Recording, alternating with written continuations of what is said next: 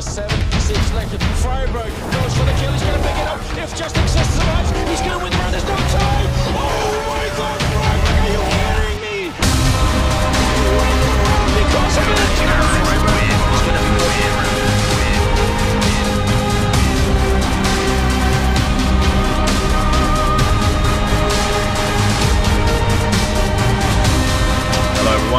to another edition of By the Numbers, uh, the CSGO edition, uh, created, conceived, and everything else by AlphaDraft, our wonderful friends.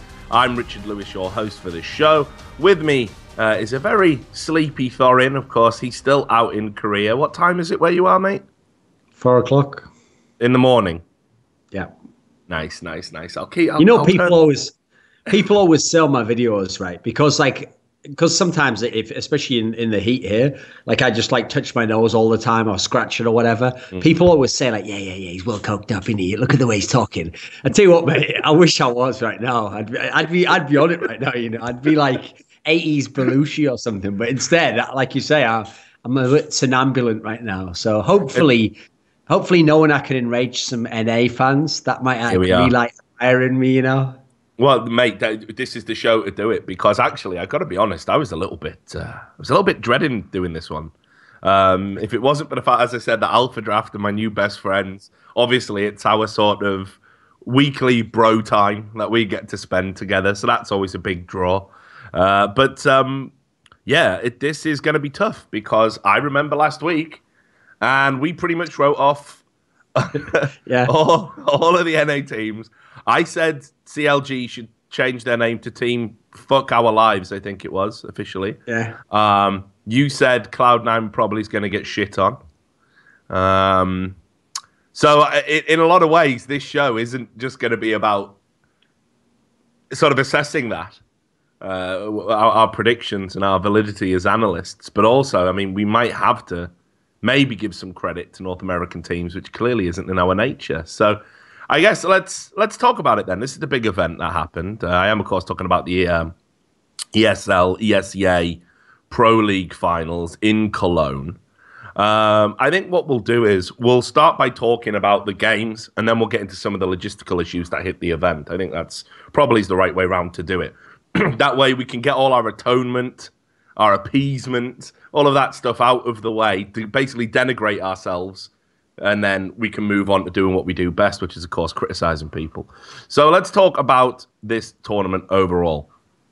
Uh, First of all, it has got to be said there were a, a number of upsets, uh, most notably the form of Envious, which really seems to have dipped uh, quite drastically between tournaments. Uh, Gfinity, we said, yeah, they looked beatable, but they were doing just enough. They made it to the final, and then they looked imperious against NIP. There was none of that form here uh, in the ESL ESEA Pro League. They lost to Cloud9 in a best of one, then a best of three. Uh, they did they did decent enough against Luminosity, I suppose, but you would have expected the envious we saw in the finals of Gfinity to run over them like a, st- a steam train. It wasn't quite that convincing, although not far off. So let's talk about them. What what what's up with the our Gallic brothers? Yeah, well, I mean, what, what was great was obviously because they played Cloud9 twice, and the second time around was a best of three. Actually, that really helped. What's funny is anyone who liked the upset in the best of one and was complaining that, like, defending the format, like, oh, don't say like best of one's not that good, etc. Well, what's good is by seeing it in a best of three, we saw that it was more legit. It actually helped prove the very case of the best of one upset and, and show that that was a legit win because they even played them on the same map again. They pl- played Cache twice in two reasonably similar games. Now, in terms of those two Cache games, because those were the two killers for me, because obviously Envy are the same team that smashed Dignitas on Cache, mm-hmm. wrecked NiP on it at Gfinity only a week before. Now, this is a team where their T side approach on Cache is so unique. They almost don't have any tactics, yet they are really good on it, and they just walk into the A site and shox kioShiMa. They just headshot people. It's unreal. Like it shouldn't even work, but it works so much of the time. Now, the sad thing was in this game, I mean, sad if, if you wanted to see a, a really high level match, was on T side, Envy was really poor actually. From what I remember was in the best of three, kioShiMa went really crazy, but everyone else was doing really badly. Everyone else on the whole team. Happy wasn't getting his kills he normally does. shox was pretty much non existent. NBK wasn't doing a whole lot. So here's the thing. Yeah, you give ultimate cro- props go to. Come on, man. Mute, mute that mic. We can hear you eating crisps, mate. anyway, I hope that's, That's not on the stream, but I, but I can't handle that. Okay, whatever. but anyway, our producer was literally just like eating some crisp Pringles or something. He went full full Pringles mode on us. Anyway, what I was what I was trying to say was, you have to the give the rustling. ultimate, the ultimate credit fans. obviously goes over to Cloud9 because actually, unless Cloud9 did all the things they did, Envious still might have stolen some of these maps. They were still pretty good on CT sides, but you have to say that wasn't at peak Envious, you know. It wasn't like beating someone where they're in top form and you just rise to their level and then out outmatch them, you know. Envious gave him a bit of a helping hand. But obviously, Cloud9 had to be there to take advantage of it. I, I want to talk about something in particular. Now, shox was statistically uh, really poor uh, in this uh, best of three. Uh, finished behind SmithZz um, overall uh, in sort of uh, kills to deaths, which is I, I dread to think when the last time that happened was. It you, you probably have to go back really into the annals of history in the team. We were talking a lot about how shox was coming back into this godlike form at Gfinity we and, and, and beyond, and certainly online as well. He looked to be the player that we all know he can be. Not so much, especially on the uh, on the second day in this best of three. Now, one of the things that was talked about, and we all saw that video of this is how shox warms up for a game, and he was like, Yeah. you know, virtually uh, asleep. Uh, while of course Cloud Nine were there in their muscle vests, doing all their you know bro science with each other and all of that. Right now, Lurppis alluded to this in his uh, write up, um, and this is something that you know we, we've seen it when we've been at events before. And he talked about how envious, you know, they do like to party. They don't leave it to the last night all the time. They do like to go out drinking. And several players that I spoke to who were at Cologne said Envious did hit it pretty hard and were out pretty late the night before this uh, Cloud Nine game. Um, now, is this a factor here in, in, in why they lost? And is this a factor in why Envious remain this inconsistent team? Because if you think about it, what happened to Gfinity, they lost the first map. I think pretty much every best of three they played. It kind of felt Yeah. like. I, I think uh, they're, they're very prone to losing the first map in, in, in series, especially if it's the first game of the day. So what are your Yeah, well, the funny thing is, I'd never really looked at it as like a pattern. Like, yeah, I know that. The, here's the thing: I'd always thought of it as like if they play badly, yeah, they can get upset by anyone because they have such an abusive playing style. Like they play off aim, so if the aim's not there, well, then also they're like the least respectful team in terms of buying. They never save, so they're going to like accelerate any of their problems and basically suicide themselves if they don't pit, turn it around. But I always just thought of that more in like the longer stretch of like, okay, they do that say one in four times, but the rest of the time they're pretty middling, and then they have the excellent games. So I thought of it as like a spectrum. But actually, now he mentions it, when you actually look at the scheduling, that these different games are all, it's always the first map of the, of the day. Well, if you remember, most most days that's going to be, it's going to be usually before twelve o'clock at least. So that means you've got to have got to bed by, let's face it, minimum three a.m. in order to have gotten enough sleep. Probably like more like one a.m. Now the mm. problem is, even when I go back and think in the past, okay, at the beginning of the year, an event they won at MLG, they lost the first game there to CLG on Dust Two. That was Yeah. the first game there. Now, now I don't think in Aspen they necessarily were going out partying or whatever. But listen, this is actually a problem I've always thought historically no one ever brought up because it's kind of weird. Okay, it makes sense in the past where LANs logistically had to run first game 9 a.m. and you have to finish whenever it finishes, you know, 12 a.m., whatever it is, right? So that makes sense that you have no choice. But it's always been weird if you think about it. If we're trying to put on tournaments to show off the world's best gamers, why are we having games at 9 a.m.? I don't know any amazing gamer who's going to bed at 12 o'clock. So I'm not saying that that's not like an excuse. At this point in time, it is their job, and they only have to work about like like 10 weeks out of a year at actual LANs or whatever. So get over it. But it is true.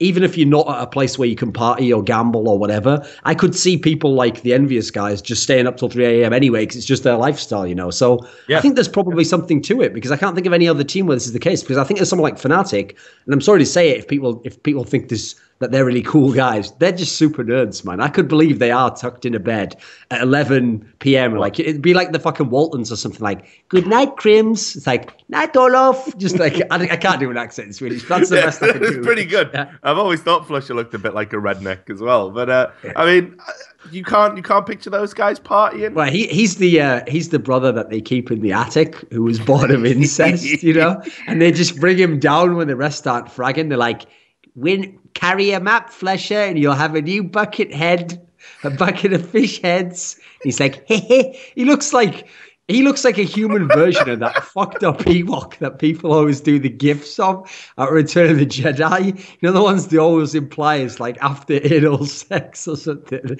That fucked up Ewok, like he has like the evil piercing eyes. That's Wow. flusha. I like the guy. I think he's funny, but Yeah, I like that Ewok as well. He was pretty hardcore. Oh, See, Jesus. someone tell us the name of that Ewok if you know. Some super nerd out there knows. Wh- which one? I, I just- know this. It Was was, it just Wicket? the Ewok that had a little, like, uh, sort Oh, of cloth thing around its head. that's Chief Chirpa. Chief Could be, Chirpa. I don't he's know the Yeah, he's the medicine man, I believe. No, no, no. There's Chief Chirpa's the chief. Yeah, who was the medicine man? Right, fuck it. Well, a Star Wars nerd will get on that. Right? Yeah, I'm disappointed in myself. I didn't know that actually. A bit, bit disappointed. But anyway, But that's flusha, yeah. yeah, pretty, pretty, pretty nice segue. Um, but yeah, anyway, back to back to envious. Uh, but, but I guess teams in general, you know, I do see a, a lot of these teams. Let, let's just be real, right? They don't live an athletic life.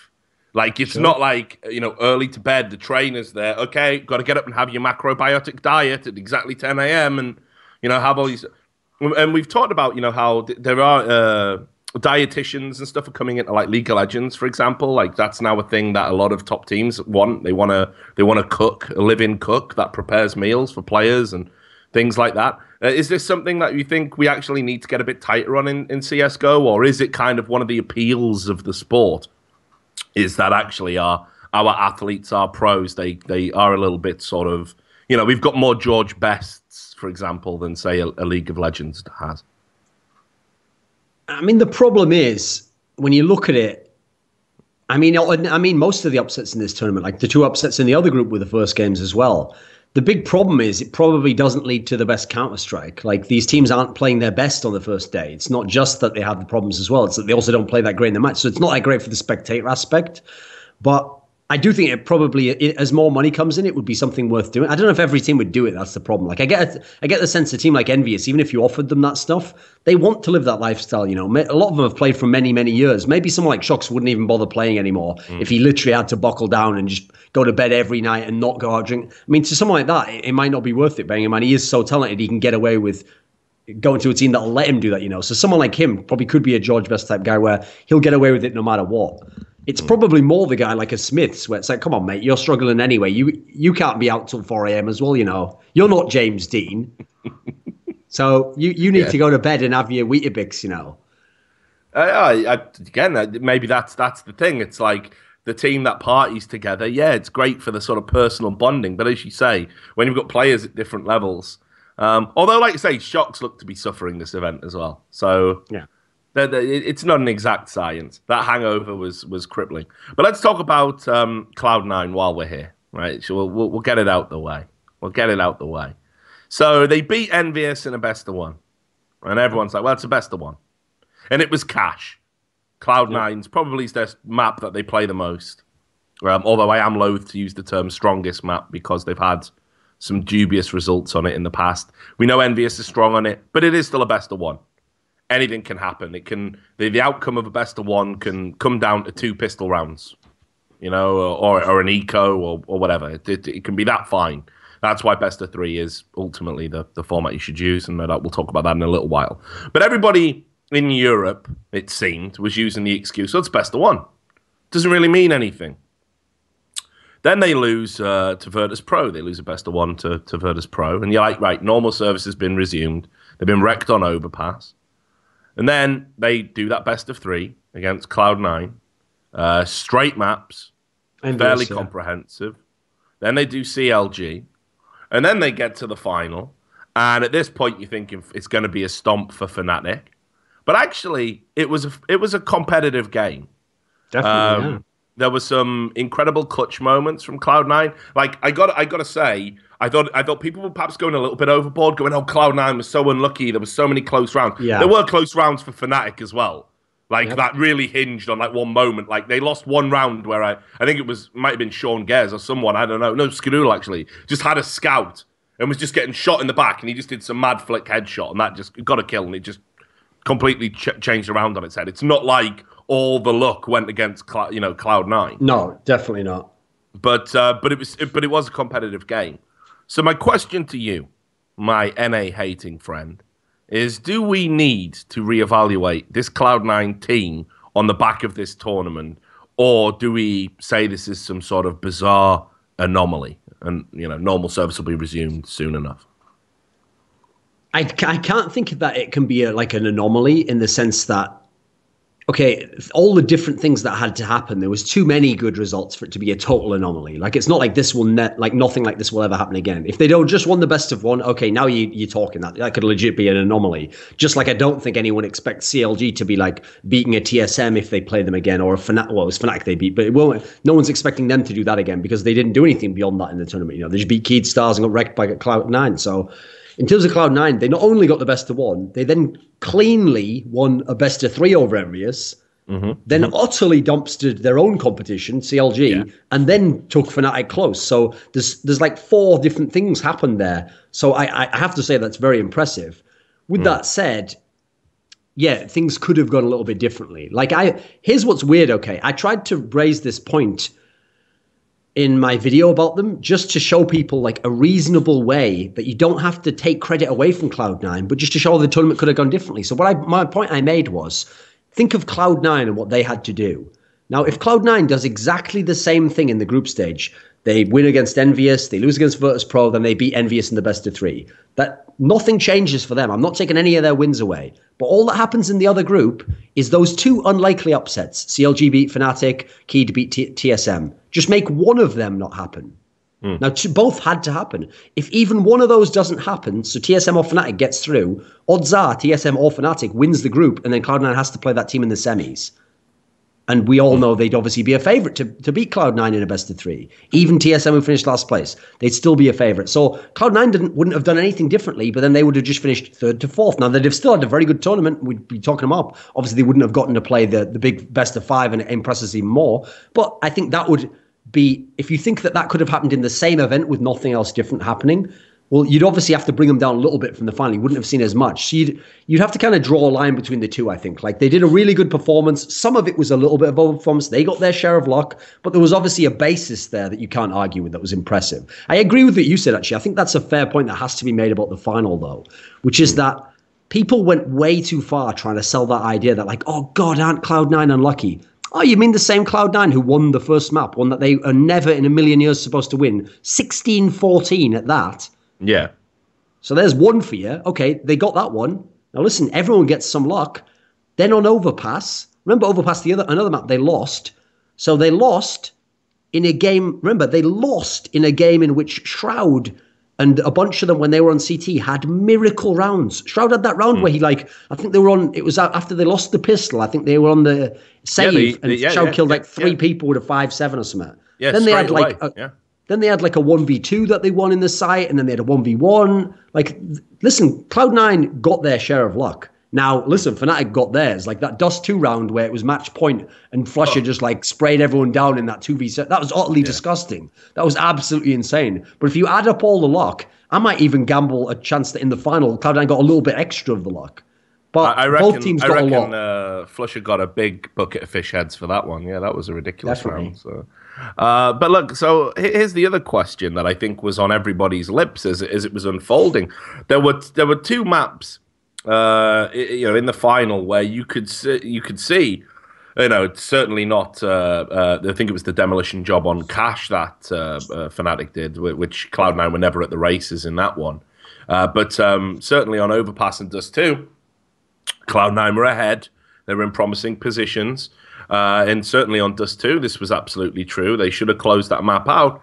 So the other question became did they choke? Are they are they chokers? Did they choke in the final? Um, we saw that uh, Shroud, who went absolutely ham, he seemed to have a bit of animosity towards some of his teammates. T- towards the end, his body language was a little bit off. He he was like, you know, I've dropped thirty plus frags here. You know, like what have I? Yeah. What, you know, when when are you going to step it up? And I thought Freakazoid had a really good tournament if we look at it holistically. But I actually Definitely. do feel he was he was absent in the final a little bit. He didn't seem to be you know, uh, his entry fragging was still there, but but actually it was his more sort of defensive play that really let him down. His CT sides seemed very poor indeed, and that was a factor on why they were Fnatic were able to come come back on Dust Two.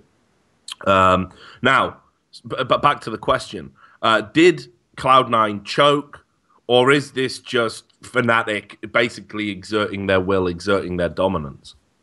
I think both happened, but it was on two different maps. On Overpass, if you remember, that was the one where basically Fnatic just closed the game out on CT side. Now, if you've mm. seen the way Fnatic's been playing Overpass recently, it was more of the same. They play this really interesting, aggressive style on the A site where they just push right out and they don't even let you set up to do a tactic onto the A site. Normally, a lot of the other teams play back in the site, just those default positions. So Fnatic just did this again, which they've done to a number of teams now. They did it at Gfinity uh, Spring Masters 2 against NIP in the game. That was like a, an overtime game there, I think. They've done this style again and again. And the problem there was this style was so effective that that was the only half I saw in the whole tournament where Cloud9 couldn't really do a whole lot on T side. Like they were just, they didn't have any ideas of what to do. They had nothing left. So they, so on that one, I don't blame Cloud9. Like in general, I think they still took the right approach. Fnatic just played a very good CT half. So that one wasn't their fault. Fnatic really took it to them that one. Dust 2 is the one that, yeah, Cloud9 should have won. It was really in their hands to win. Like Fnatic, yeah, Fnatic found a strategy that worked. They just kept splitting to B over and over and over and over again. But this time, Cloud9's on the CT side. If they even just cut that off once, they win the whole game because they were at something like 15 to 9. So I do think that on the Dust 2 game, it's not that they entirely choked. Like I think at the beginning, mm. it was more like they just didn't know what to do. But then you saw as the game went later, it was almost like no one like put it this way, the stars who were still fragging Shroud, Skadoodle, none of them ever like play made and did like a crazy round or, or put themselves in a situation where they could get in on the other opponent and take it. It's like they all just sat in their spots and just hoped that they were just going to get the kills and win the round. And obviously that didn't happen. Now, yeah, yeah it takes a world class team to be able to still be able to do that to you every round. But I think that one was more on Cloud Nine. Like if if I forget all the other maps and I look only at Dust Two, yeah, we probably should have been going to a fifth map. Yeah, I agree with you. I I, I, I thought that was how it was going to go actually, and I think Fnatic would have uh, run a train uh, over Cloud Nine on Inferno, uh, run yeah, a train over, that is, nasty, not run a not run a train on. Uh, just, just Definitely not. No, no I don't think been... you could forcibly run a train on a guy like Freakazoid unless he was into it. You know? Yeah, I, I definitely agree with that. Um... How can you not? Of course, absolutely. You're you're you're right once again.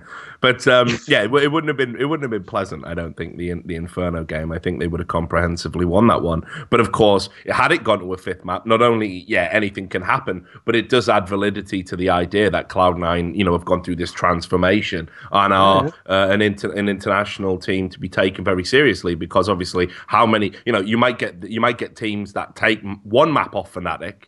Um, although I, they're pretty limited. But certainly to take two maps off Fnatic, now you're in TSM territory. So, uh, you know, that would have been very good for them indeed. Um, uh, just while we're talking about the uh, sort of final as a whole, uh, Cloud9 getting there and putting in a, a, reasonably strong performance against Fnatic, what does that do for you in terms of their ranking? Is I know you don't like to fluctuate too much based on one event, but this is a significant event, and it was a significant yeah, yeah. performance by by a team that have been kind of flirting uh, with with that sort of you know climbing up that top ten for a while now. So do you do you rate them any higher after this?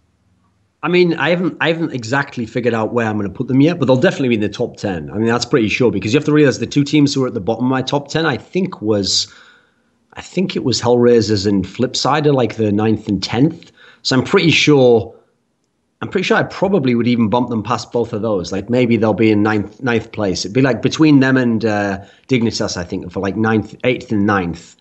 Because I mean, listen, at this event yeah, you finished second at an event that did have VP, TSM, even if you didn't have to play them, and you won a best of three over Envious in an impressive fashion. So those factors combined, yeah, that's very good. And unfortunately, the teams at the bottom below you, obviously, they haven't done anything comparable to that. Some of them have placings, but they haven't won like a big best of three over Envious, you know. So I think, yeah, they're probably going to immediately be in in the, in the top ten again. But obviously we're not going to go crazy off one event.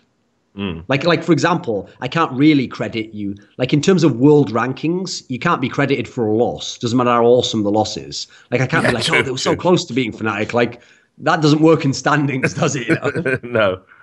Um, so uh, uh, here's something I definitely want to do because uh, I don't want to make the same mistake that ESL did and just skirt over Fnatic. like, like pretty much all of their post-match discussion was, "Oh, Cloud Nine, Cloud Nine, look at their vests, look, look at Freakazoid's natural muscular structure, look at." Uh, everything that NA have achieved, and yeah, Fnatic are pretty good. There's JW with the trophy. See you next time. See you. See you. It was really fucking skewed, in, you know, towards the Americans. And you know, I, I maybe understand it from a broadcast perspective because obviously you want to, uh, you know, the the NA market's growing for CS:GO. It's not as you know, sort of uh, what's the word, as, as as rigid as you know, as in place as the European market. But ultimately, it did feel like the people who won the tournament kind of just got fucking ignored.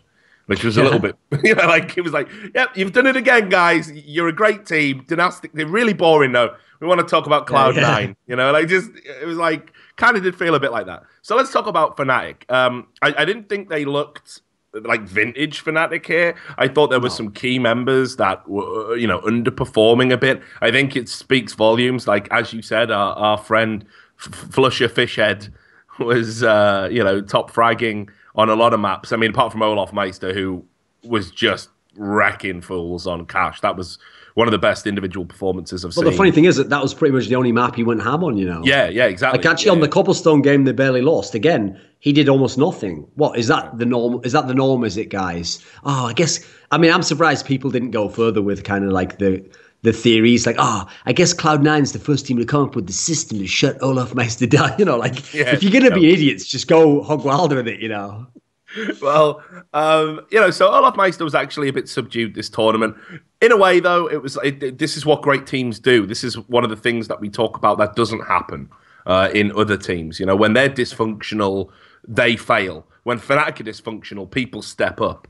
KRIMZ, I thought, was back to his consistent, uh, you know, standards. But JW as well was going ham, no pun intended.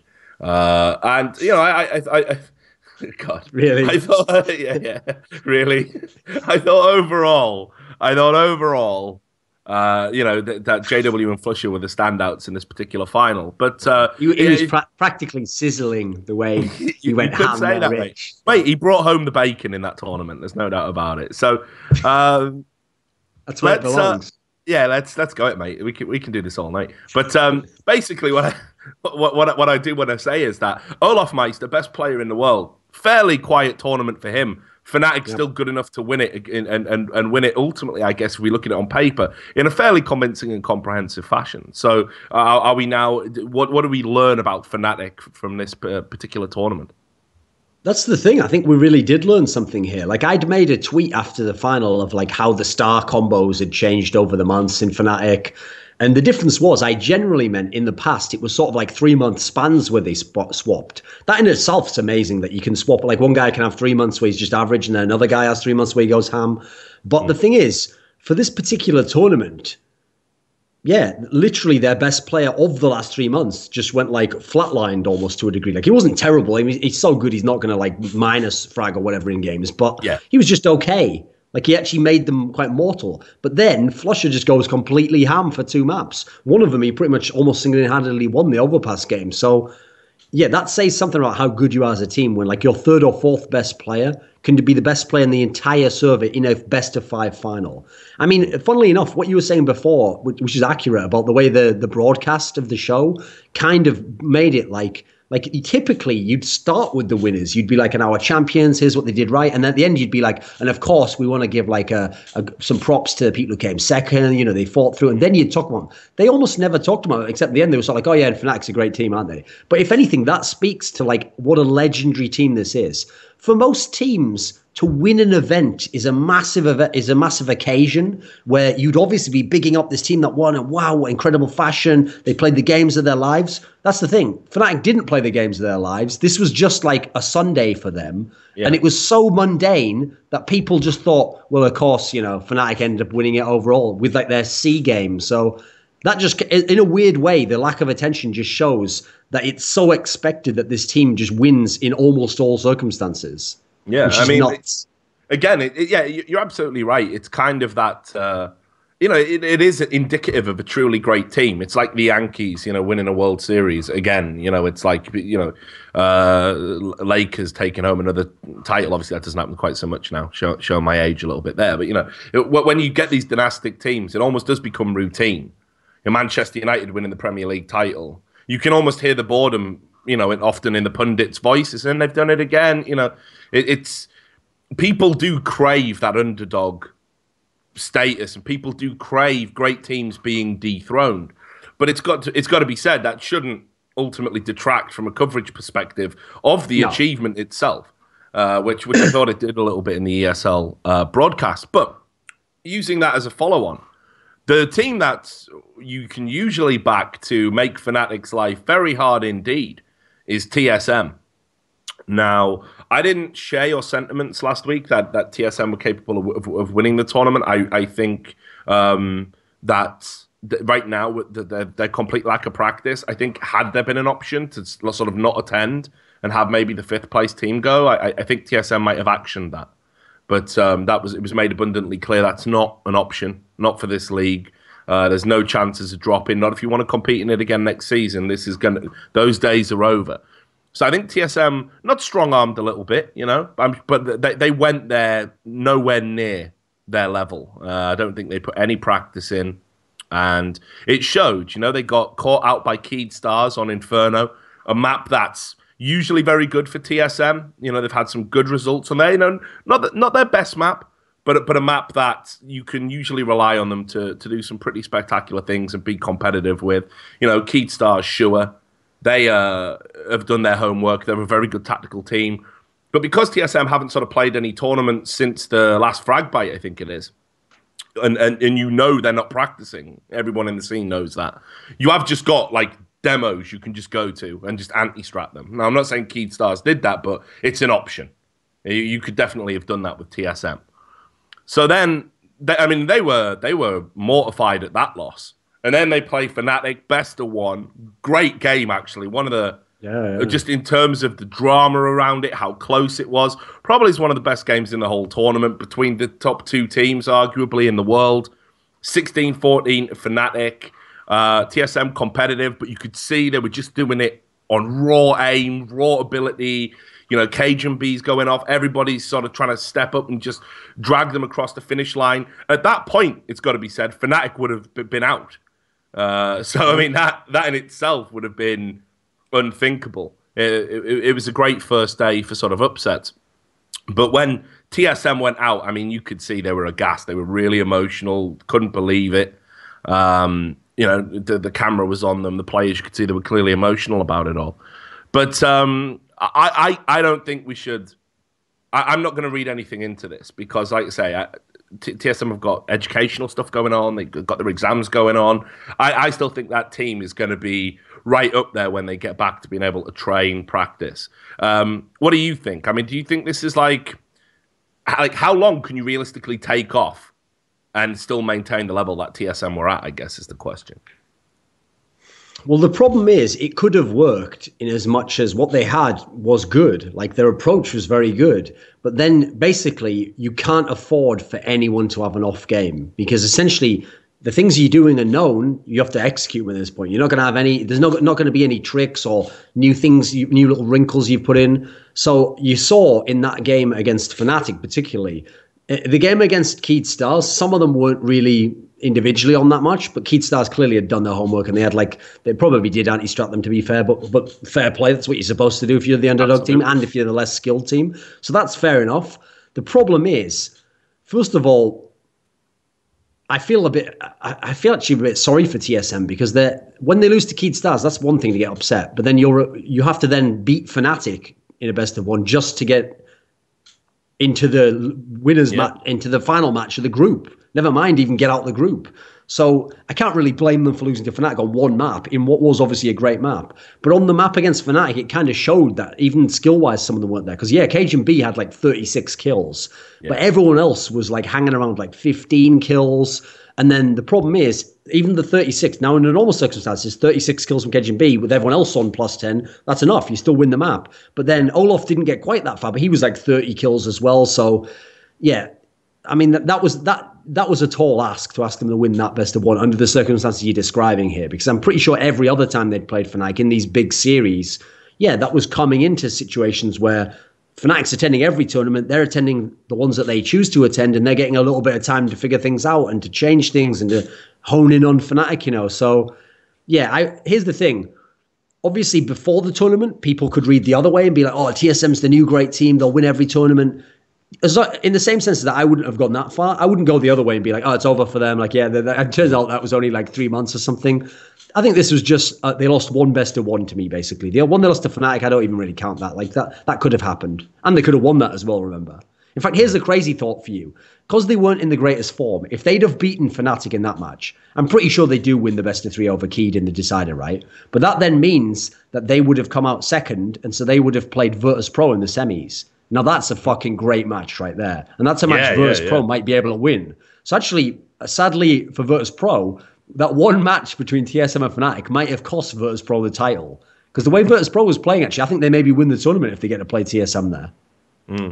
Um, I mean, as it happens at, at the moment, just what this is live simultaneously with this broadcast. Okay. Uh, apparently, Virtus Pro are smashing uh, TSM in the uh, FACEIT League uh, stage two uh, on on Dust two currently in a best of one. So um, just uh, I- you know, I, I, I, I don't I'm not I, I don't think I, I agree with you. I don't think we, we start writing off TSM, but it is interesting because, like you say, you know, there's a team like Fnatic. They're in their groove. They win a major. They take a holiday quite smartly. Don't attend some of the lesser tournaments. Recharge their batteries. Come back, but they didn't leave it too long. You know, they, they left it like three, four weeks, something like that, and then it's back to business, and they continue to be absolutely absolute ownage. Uh, but you know, can TSM do the same? I would say that's like quite a that's quite a unique attribute to be able to have. Generally, teams seem to do well once they find this groove, this consistency, and it's almost like you never want it to end. You know, you, you want to be at tournaments every weekend because it keeps you sharp, you know, where you need to be to be competitive. And, uh, you know, I, I do have a little bit of um, a little, a, a slight fear that for the next month or two, TSM are going to be susceptible to being beat. I mean, first of all, as I said, it's not like other teams where it's like they've been going to other tournaments, trying out new tactics, reinventing themselves. You've now got to decide, well, are they going to play like they played at this tournament? They're going to play like this one. You can just go back and just get the last time TSM played. You know they're not going to have changed anything, and you know they're they're now vulnerable to anti-stratting. Um, equally, you, you know when you play them karrigan's again who's he, what's he going to do? Try and come up with some tactics on the fly? Probably smart enough to do it but ultimately you're going to face some pretty default strategies I would imagine. So uh, yeah I, I think for the next few weeks uh, and, and possibly months actually I think TSM are going to have these inconsistent results I don't know if you could sort of back them to to be I've got, I've got a crazy question for you here that no one's Yeah. actually brought up. Okay, so I'd heard the same thing that TSM themselves were even sort of saying like, "Oh, listen, we're probably not going to be in the best form." Like, "Oh, you know, we couldn't practice much, etc." Remember, this tournament technically, if you're a top team, gave you a chance to win more money than the major because second place is actually Yeah. 60k at this tournament instead of the 50k. And obviously, the first place is 100, just like a major. So in theory, even with three majors in a year, there's only going to be something like are there going to be two of these in a year? So that'd make like five total chances to win a hundred thousand.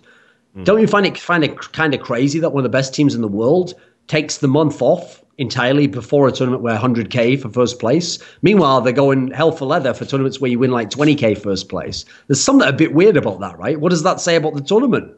Yeah, yeah, no, I, I, I definitely, uh, definitely agree with, uh, with you on that front. But I, I think it's more just timing. I, I don't think it's any part of a grand strategy. First of all, I know enough about the management infrastructure of TSM to know that uh, Reg, Reginald uh, and, and and the management team there, they're not like a typical organization. Like, for example, there are organizations out there, and again, I don't want to, you know, drop some truth bombs on fans, but this is just the reality there are a lot of organizations out there that don't want excellence. Excellence is not implied with the sponsorship.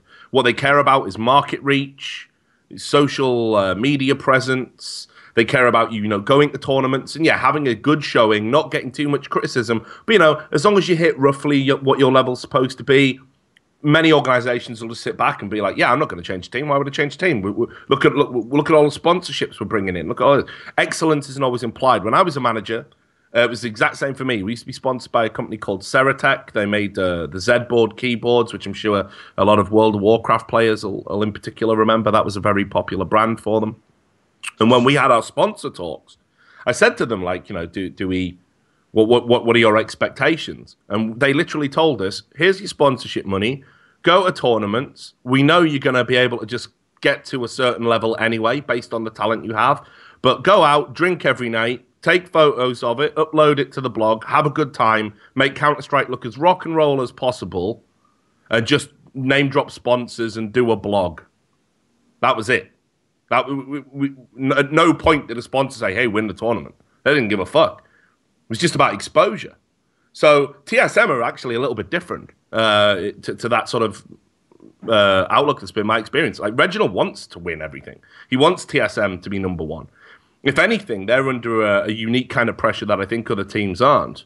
Um, although you know they've been supported quite well, and their ascent to being a top team has been dr- quite dramatic since uh, they left uh, Team Dignitas. But I, I definitely think that the reason they go hell for leather in these lesser tournaments is it, it, they want to win them. They want to rack up as many title wins as possible. They want to be able to say, "Hey, we're an elite level team." You know, they'll be gunning for the number one spot. They're going to want to dethrone Fnatic, not in one tournament, but long term as a dynastic team, and that will be the aim for TSM. You know, you've seen how Reginald's run the League of Legends team. Nobody's safe.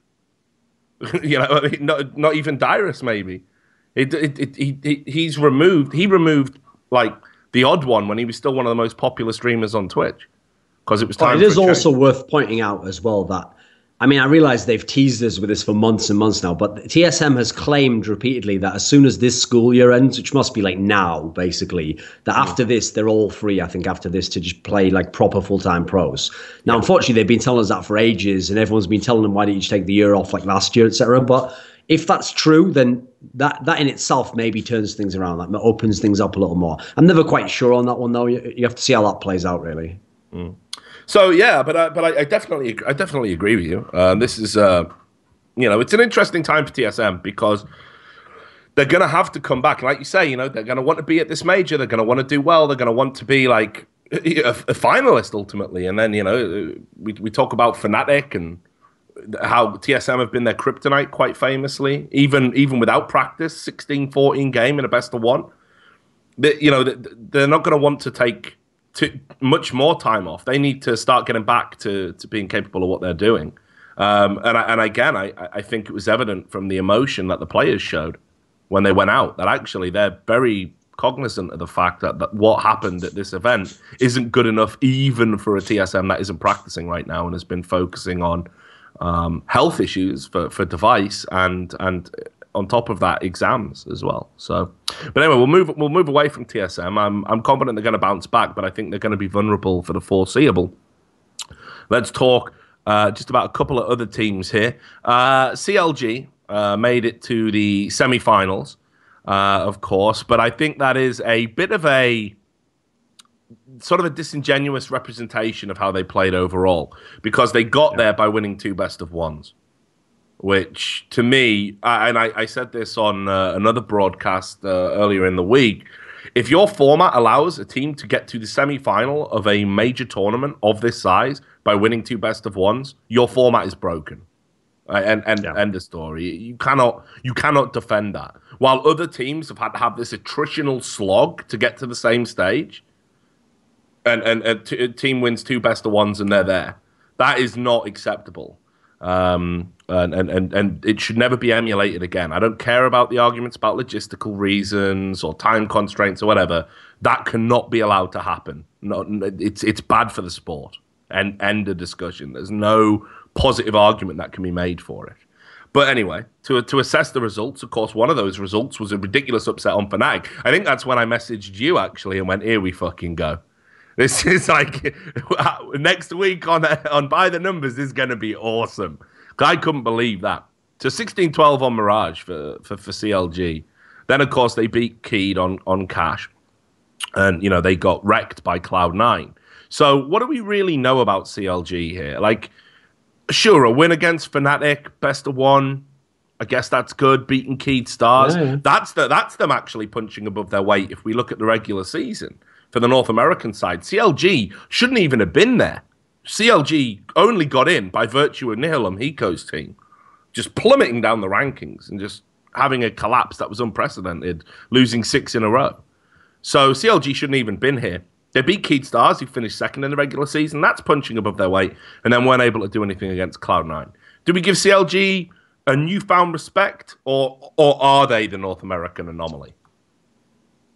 I mean, the thing is, the best of one over Fnatic. Listen, if, you ever even use terms like "is it legit," "is it a fluke," people always just get super butthurt. Obviously, most of these best of one upsets are flukes. Like Keyd beating TSM is a fluke, CLG beating Fnatic's a fluke. Maybe you can say the Envy one wasn't because the Envy Cloud9 one, like they actually were only close because they lost both the pistol. Like there was the other circumstances that made it look closer than it was. The thing is, it was clear to me that the guys from CLG had, had obviously studied Fnatic uh, on that map, especially. But you also have to throw in that someone, I remember someone mentioning this, supposedly on the comms for Fnatic, they just literally were saying stuff like, Haha, let's just scrim these guys. Like, as in, let's just like fuck around and we'll just wreck them with aim, essentially.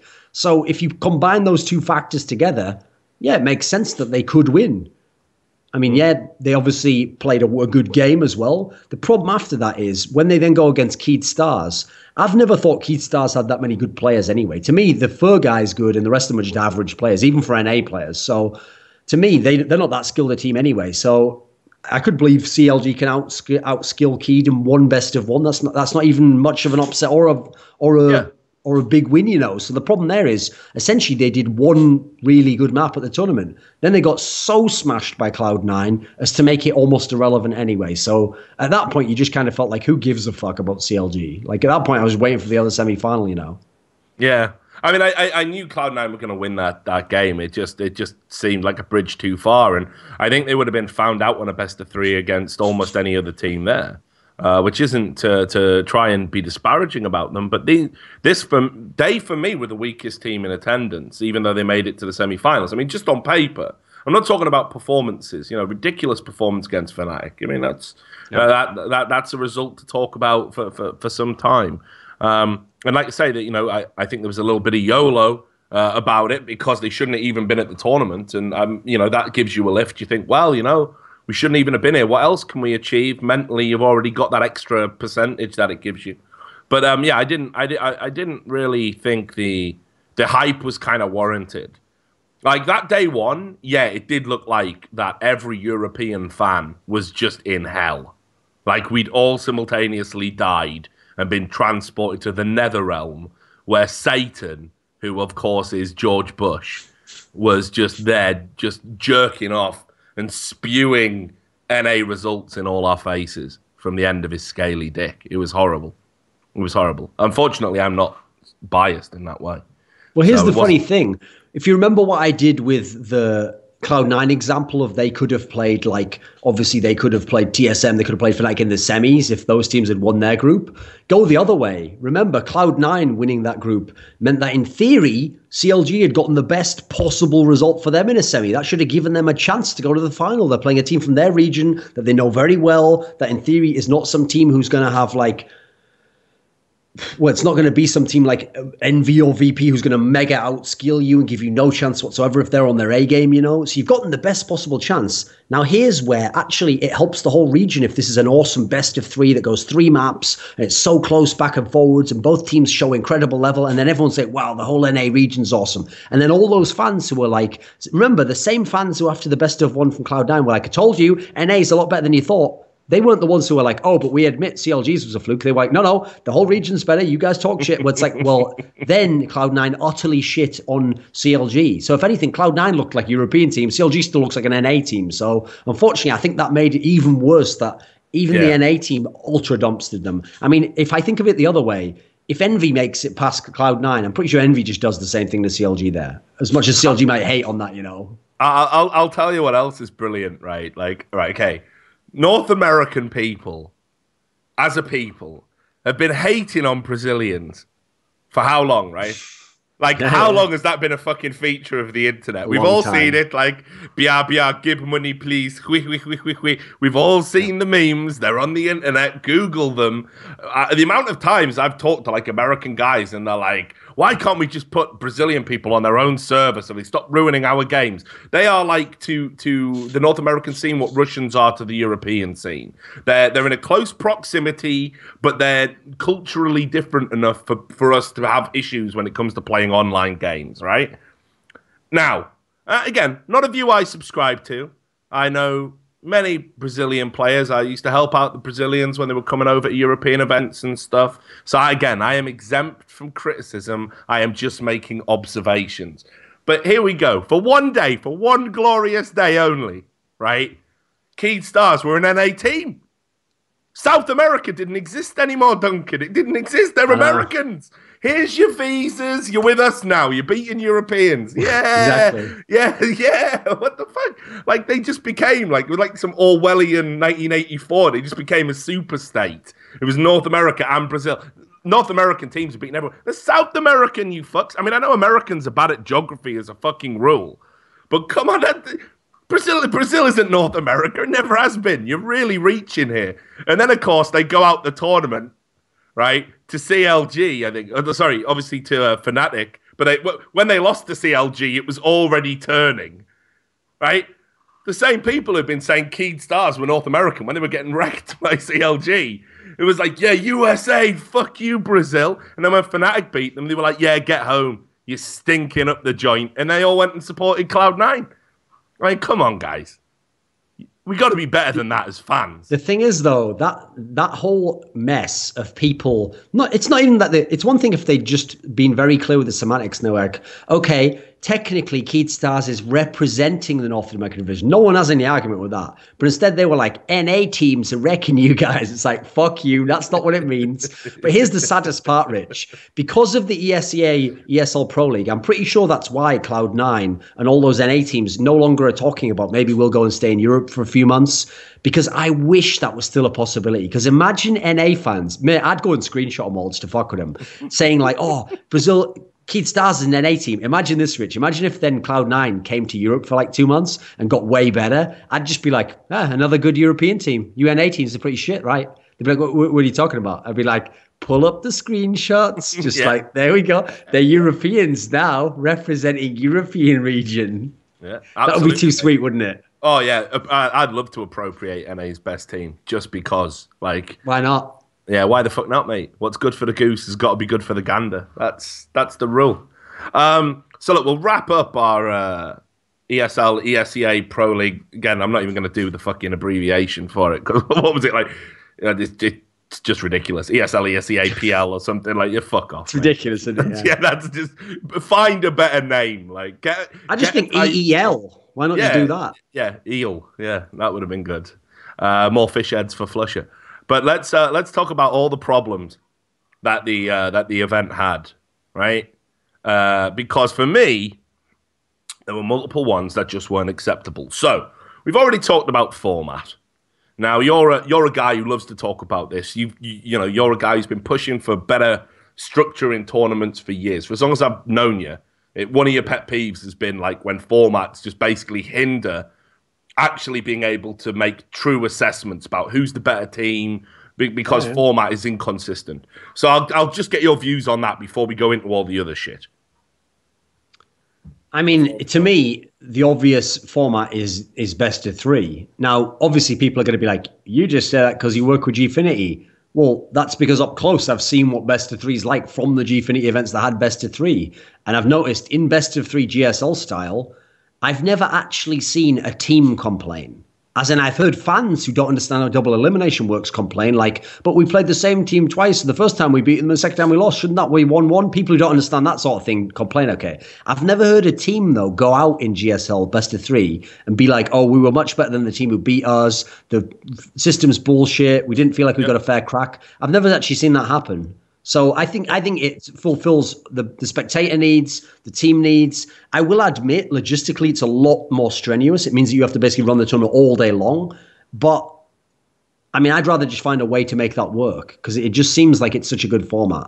And here's the thing: if you win a best of three, like think about when mousesports twice beat Virtus Pro at the last Gfinity. Yeah. Who was saying, "Oh, mousesports, that was a fluke"? Well, if that had been two best of ones or just one best of one, and then in a round robin format, anyone could have been saying it's a fluke, and I wouldn't. It'd be hard to defend against them, you know. But Mm. winning two best of threes over Virtus Pro, no, they schooled Virtus Pro there. They comprehensively beat Virtus Pro in impressive fashion. So it takes away a lot of the problems, I think, and gives you more information.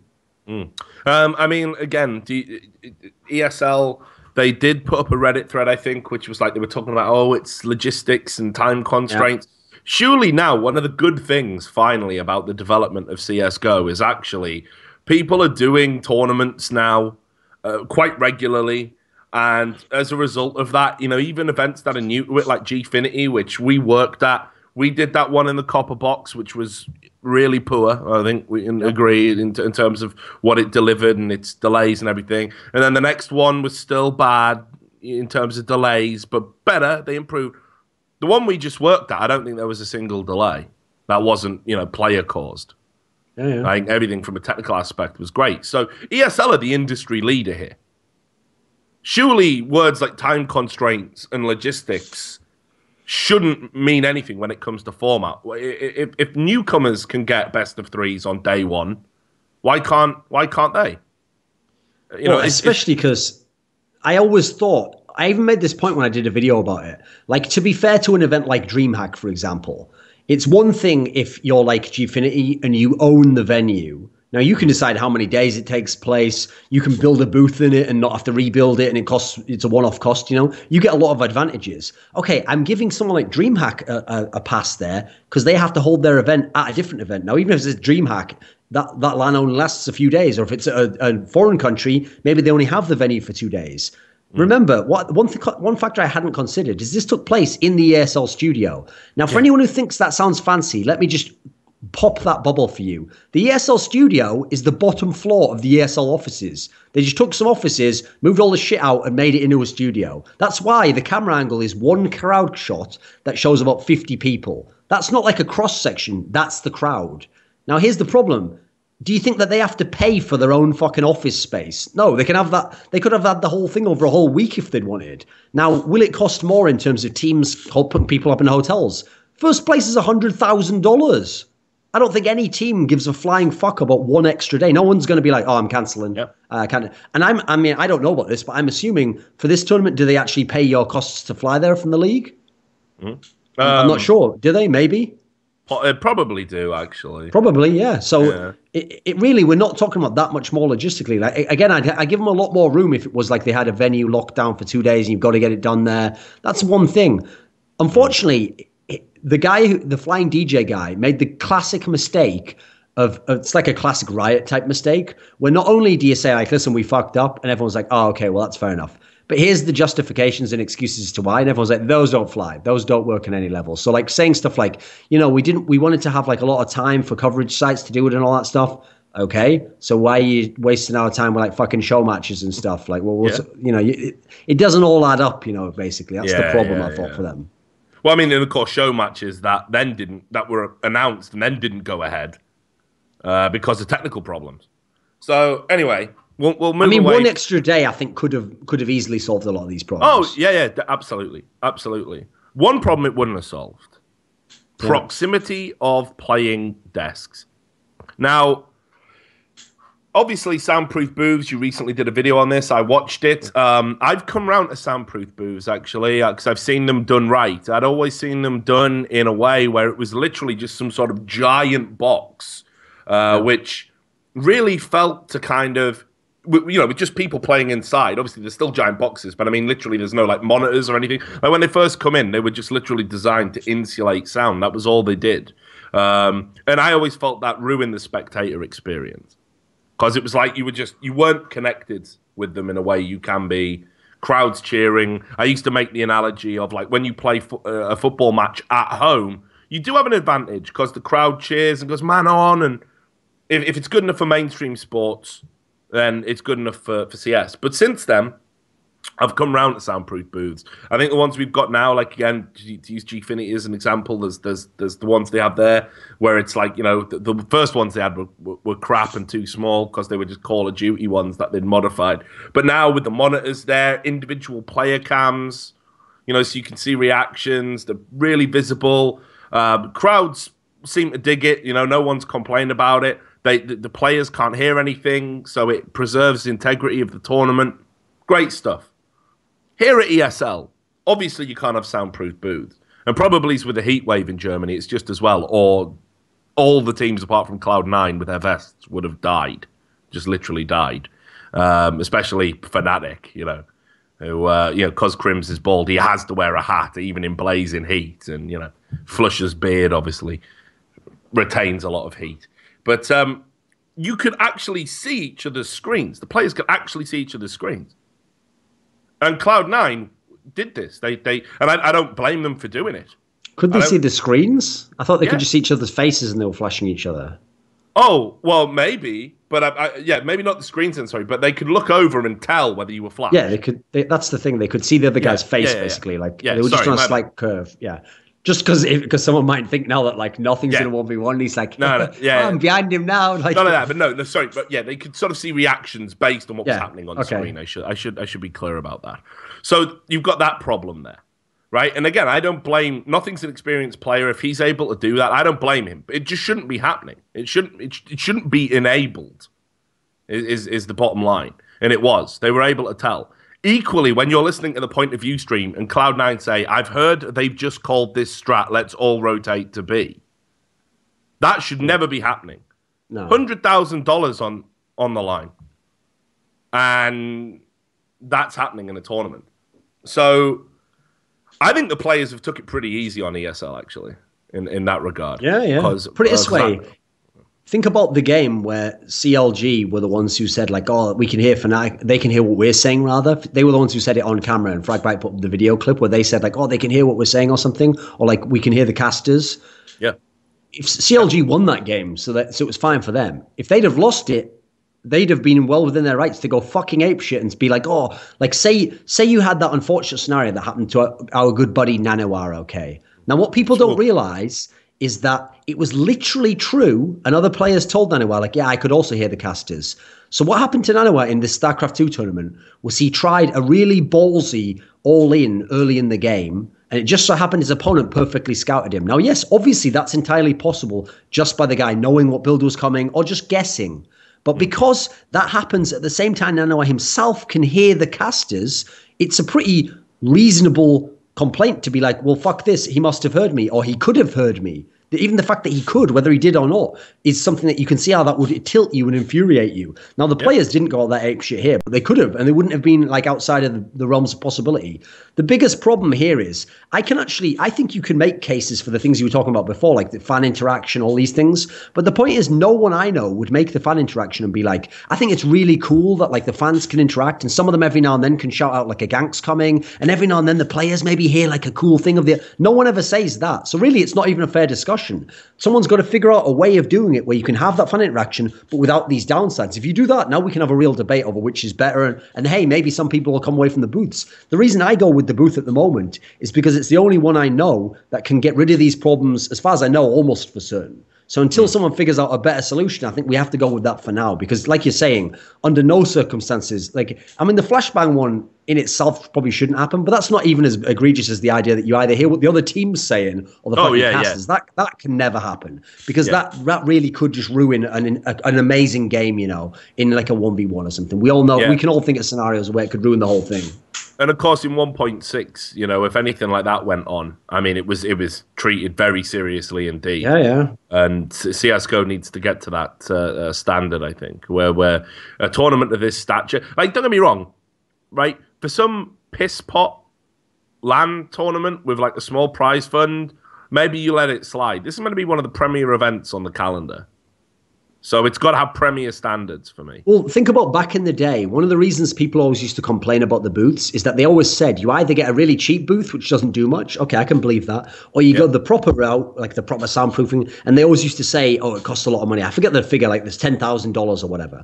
The problem is, yeah, when your whole prize purse is 30000 okay, I get it. You can't afford the 10000 The prize purse is now like 200, 300K and we all know these companies are getting money pumped into them by sponsors. So actually, 10k is no longer an excuse for you. That's actually a viable expense that you should probably go out on. It, especially, unfortunately, if now your fans know that you, you, the integrity of the tournament is compromised.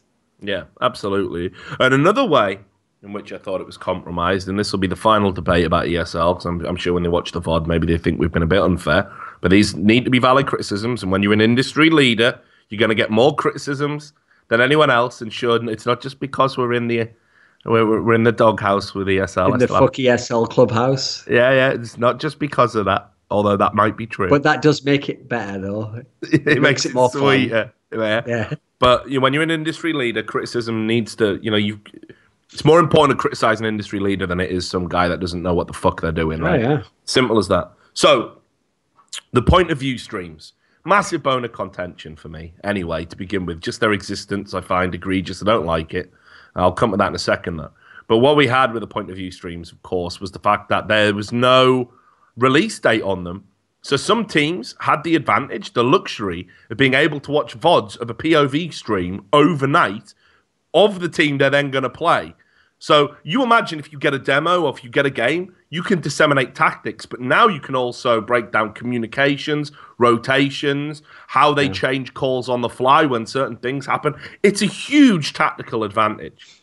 And again, it's one that ca- you cannot allow the broadcast in any way, in the same way hearing a caster's voice, you can't allow VODs of that to go out mid tournament and allow it to prevent potentially pervert the course of an event.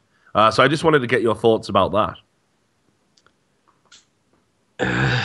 yeah, that that's the big problem, isn't it? Like, here, here's the best way. Here's the analogy for you, okay, Rich. Mm. So let's say every day I walked, I walk, go to work on the morning, and I go to the coffee shop. First of all, I get my coffee, and I see the barista, and she's this young, nubile young woman, very sexual, very exotic, you know, as they often are, you know, yeah. in England. So you go you go to there, you see her, okay, and you think to yourself, oh, yeah, you know, obviously sexually attractive woman, you know, it'd be, it'd be great to think what it'd be like. If someone just told me, like, if you go to this URL, you can just see like a, a live stream of her when she's in the shower. Listen, that would be morally wrong for me to listen to that. But I'd obviously do it. I'd obviously click on it and I'd obviously watch it. The whole time I'd be like, this is wrong, but I'd be loving it. I'd be like, this is brilliant, actually. Part of me would be like, this is brilliant. Then about about seven minutes later, I'd be like, this is so wrong. I, am never going to do that again. I uh, promise. Uh, uh, not until what tomorrow. Happens, what happened seven minutes later, Duncan? What happened? What, why seven minutes? Well, that's when I've finished crying. I've cleaned up, you know. uh, I've had to. I've turned off uh, the Rolling Stones painted black, so it's not muffling the sounds of the screams, you know. But yeah, anyway. So I, I wouldn't. I would know it was wrong, but I would definitely do it. So that's how I feel about these streams. I really want to listen to them, Rich. I want to hear these tactics. I want to hear what calls they make. I want to hear which players are idiots and don't listen to the strats. But I know I probably shouldn't be listening to this. I know that unfortunately it's going to be used in the in, in essentially for evil. Like, I mean, I'm I, I got to say, fair play to Pronax that he even came out before the final and said, actually, I will definitely listen to these vods of the American teams and yeah. and try and figure stuff out based on them. So yeah, there's no again same with same with the the booth situation. If you could find a way to release these after the event in a way that it didn't affect anything, which even then it still would because people still go and watch them who are teams. If you could find a way, yeah, let's have a discussion then. But I can't find a way at the moment to get rid of advantages for certain people that that will spoil the game in some sense. Mm. I mean, for me, like, look, it, it's like you said. Uh, I'm not going to use a sexual analogy, and I'm definitely not going to allude to masturbation in in in my uh, um, although all of those things you did say do ring incredibly true. Um, uh, apart from the seven minutes thing, I, I aim to get that high one day. But uh, okay. let's let's um let's just break it down, right? Basically, what we're doing is, right, well, rather what I was I was grandstanding there, by the way, Rich. Yeah, yeah, it was. No, no one's ever done seven minutes. No, no, one. I don't believe it. No, no, no. So, um, the um, the, the, what ESL are effectively saying is that it's okay for this uh, feature of a tournament to go ahead, one that we know can impact on the uh, integrity of a tournament because it can be used as a, a, a tool to anti-strat and you know and, and other things. Not only that, I think it creates an extra layer of pressure for teams because we just had it on EnVyUs and nobody's really picked up on this. And I've been told the translation's genuine. Now, I don't know if you did hear about this, but apparently there was some slight is Islamic, anti-Islamic comments made about Freakazoid. Uh, did you hear about this? Yeah, I saw the translations from the, the French guys. I mean, and uh, you know, I, I, I asked a French friend, and he was like, "Yeah, that's that's a fair summary of what was said." So you know, we're gonna. It was basically, I think the one line that would stand out was perhaps being slightly offensive was, you know, um, he's a Muslim and he's doing Ramadan, so let's feed him some ham. I think it was. Which you know, look, we, we know France and, and you know the, the, sort of secularism and everything that's going on culturally. It's a little bit different. But here's the thing: if that blows up, let's say I know they're sponsored by a Saudi Arabian company, like Saudi Arabian airline or something, right? Okay, yeah. Right, and then that blows up. No, again, shouldn't, shouldn't say that. okay. Shouldn't what the Saudi that. Arabian airline blows up, Rich? Okay. Shouldn't say that. You're putting me in bad territory. That sounds like that was that sounds like that was staged, mate. Uh, uh, no, no, God, no. Um, I live in Birmingham, mate. There's no chance of that. Uh, I'm, I'm multicultural to the core. What I mean is that that is noticed yeah. at a greater level than perhaps you know it, it should have been. And they they're like, well, this is anti-Islamic. This is outrageous. Uh, we're pulling the sponsorship. Now, should something that's ultimately said in private, and that's what team communications are, should something that's said in private be like in your mind? Oh, what if what if this goes viral? like, should that be on your mind while you're trying to play a game and win a tournament? I don't think it should be. So what no, ESL that, are effectively that's going too far, isn't it? Yeah, yeah. So uh, what ESL are effectively saying is something that creates an extra barrier of pressure to the players, something that can have huge negative impacts on the players outside of their careers, their career prospects, perceptions. You know, like just for example, like what if, what if someone said, "Oh, you know, all Americans are dirty fucking trash anyway." right? And you're like an organization like EnVyUs, right? Let's say EnVyUs say it since we're talking about them anyway. Like, fuck Americans, are all dirty trash. Well, EnVyUs is ostensibly like an American organization. Yeah. So their fan base is fucked, isn't it? Like, they're going to get loads of negative hate. What if they got press- What if EnVyUs got pressured into dropping the team? Now, don't say it can't happen because esports proves every day it can. That mob mentality will prevail. So I don't like it on that basis. So my point is, should should that be there just because fans like it? I don't think so. I think that's bullshit, frankly. There's also a big problem I've noticed with that, which is uh, something you'll recognize, which is, you know, with scandals where people, I mean, obviously, like we've been involved in them, where either someone says something that someone doesn't like or there's a triggered yeah. word, etc. One of the reasons that it always feels unfair when that happens is because it's not uniform. Like someone else has said the same thing or worse, and either they were a liked persons, therefore it was ignored, or it just wasn't picked up for that one time for whatever reason, no rhyme or reason behind it, you know. And so it feels kind of capricious when it happens to the one person and then it gets blown out of proportion. There have been two incidences based on POV streams, both times with the. Let me think both times with the French team, actually. It was both times with EnVyUs, which admittedly, you have to realize a lot of people dislike EnVyUs. They think they're arrogant. They think NBK cries, okay? So people are looking for things about EnVyUs to yeah. fuck them up. So, the, uh, so at the last major, there was a situation where EnVyUs had said something. I think it was about Navi when they were playing them, where they'd said something along the lines of like, mm. I think shox was like, like kill these Ukrainian dogs, like they are scum or something. Which, let's face it, first of all, translated into English from French, like these guys, their languages are more poetic. They're, the way they speak's more evocative, you know. Then yeah, yeah, they're yeah. not literally saying that in the same sense, you know. So anyway, there's that. But secondly, there was a piece of context about that that was really unfair, which is that no one bothered to translate what the Ukrainians were saying. So yeah. people who are speaking in Russian, okay, I know for a fact were saying things like, well, for a start off, when the Russians kill people, they say stuff like, oh, it's fucking bitch, like, oh, fuck this prostitute whore, I will kill him. Like, those are the same match that they're saying that, but no one translated that. Yeah. And yet, here's the m- amazing thing, Rich. The fans who were getting upset about it had fucking Ukrainian flags on. So are we to believe that they weren't listening to the POV streams, that they that they honestly thought that their players never said anything, but they're envious of this evil team? No. Now, the same exact scenario happened at this land, believe it or not. I didn't know this until I saw that video where it was the funny moments on the POV stream. Because remember, this is all about Freakazoid and how he's been unfairly treated. Then you go to the POV stream and Freakazoid makes a joke, which again also is a joke, where he says, like, oh, they're smoking, hope they fucking die of cancer. Well, isn't dying of cancer worse than like saying they're going to feed pork to a guy who's Muslim or whatever? I'd argue that it's worse to be die of cancer then. But again, I don't want any of these people to get in trouble. I'm not saying Yeah, get same, Navi in trouble. same. I'm not saying get Freakazoid. But unfortunately, you can see how it's not even a fair treatment here. It's not like it is just one set of players is really out of bounds. I'm sure almost everyone said some crazy shit at some point in time during however many hours of a tournament was on POV stream. Well, so yeah, unfortunately, this is why you don't we- stream when you play. yeah, yeah. But even if even if you punish some of these people, it's never going to be fair anyway. So I can see how this is just a minefield that I don't want players to be forced to walk through. And then one guy, what? Listen, if the game gets big enough, someone's going to get fired over this. Someone's going to get kicked off an awesome team. You're going to break up a great team. Who wants that, man? Just for a few funny moments. Or if anything, let's do it the other way. If everyone wants the funny moments, save the POV VODs, go through them, only take out funny shit that doesn't offend people, if that's possible, and just make a funny VOD after the games. Isn't that isn't that a way around it, you know? Yeah, I mean, I, I agree with you. I, I, I just don't like it because it's like you say, it's coming. It's coming. That one time somebody says something, maybe they drop an N bomb. I don't know, but it's coming. Yeah, yeah. It's and and when it comes, everyone's gonna like they're gonna go after that person. He's got you know they're gonna get driven out of the scene, and they're gonna be thinking like, hang on a minute, you know, now why has this happened to me?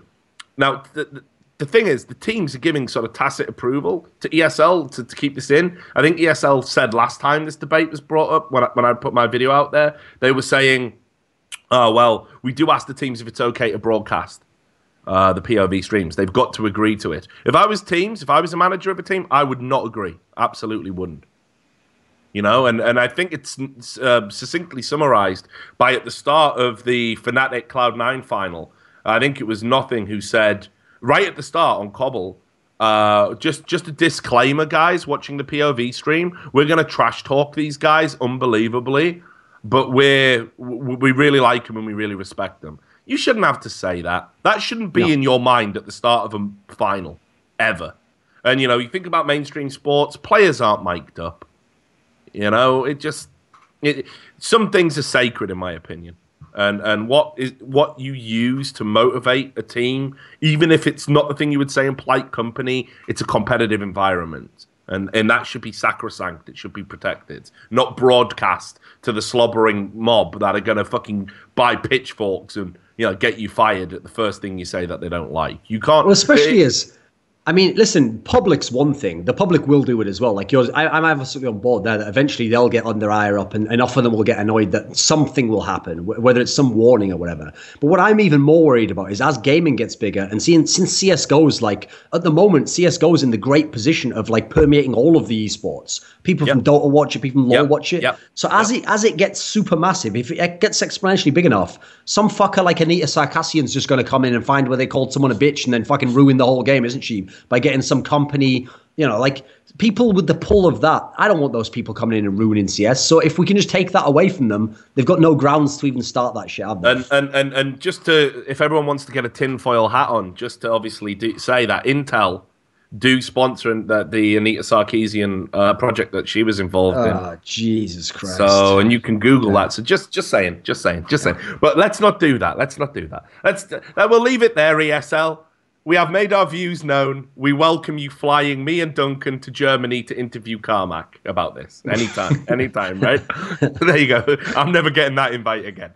Right. well, so, except the way it has to work, Rich, is I have to sit in another room with Yeah. a wall between. Yeah, and I yeah, have yeah. to feed you in an earpiece. Yeah. Ask him about this. Ask him about this, Richard. I have been instructed by the man who shall not be named. Yeah. Whoever he may be, Yeah. we will call him Duncan X. no, no, no. Wait, wait. We will call him Mr. Shields. Right. So anyway, let's uh, let's move on to the roundup of uh, of the news. Uh, let's pick out the best stories.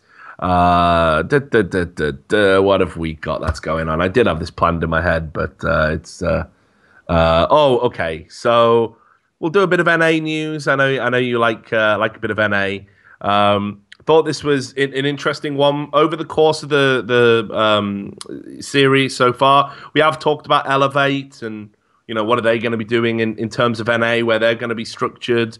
Obviously, you know they've got some players on there that have some 1.6 pedigree and you know it, it kind of flattered to deceive a little bit.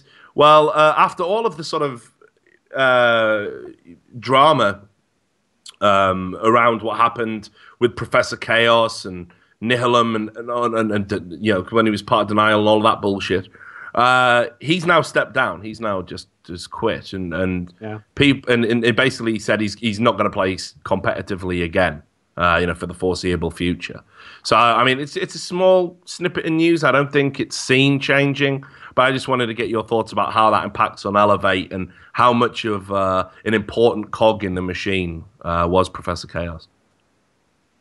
I mean, the thing is, since he only just joined up with them recently, yeah, I, I get I get the feeling as ni- as cynical as it might sound. Like, listen, obviously these are all steps down from him. Like he was in a team before that was in theory better and was going places and had had that result at the ESEA LAN the beating Cloud Nine. So it feels like what happened was he joined this team, which let's face it, unfortunately doesn't have many skilled players left in it. All the best players basically left, and they have all kind of the supportive players left over and the leftovers from other teams. I get the sense he probably joined this team, played the first two days of scrims, they got shit on totally, and he was like, "Actually, fuck this. I think I'm just going to quit, mate." Like, I hope this was like, you know, maybe maybe some, uh, we, we catch lightning in a bottle and we turn it around, and we're like the leftovers who come back to drain over the scene. Actually, no.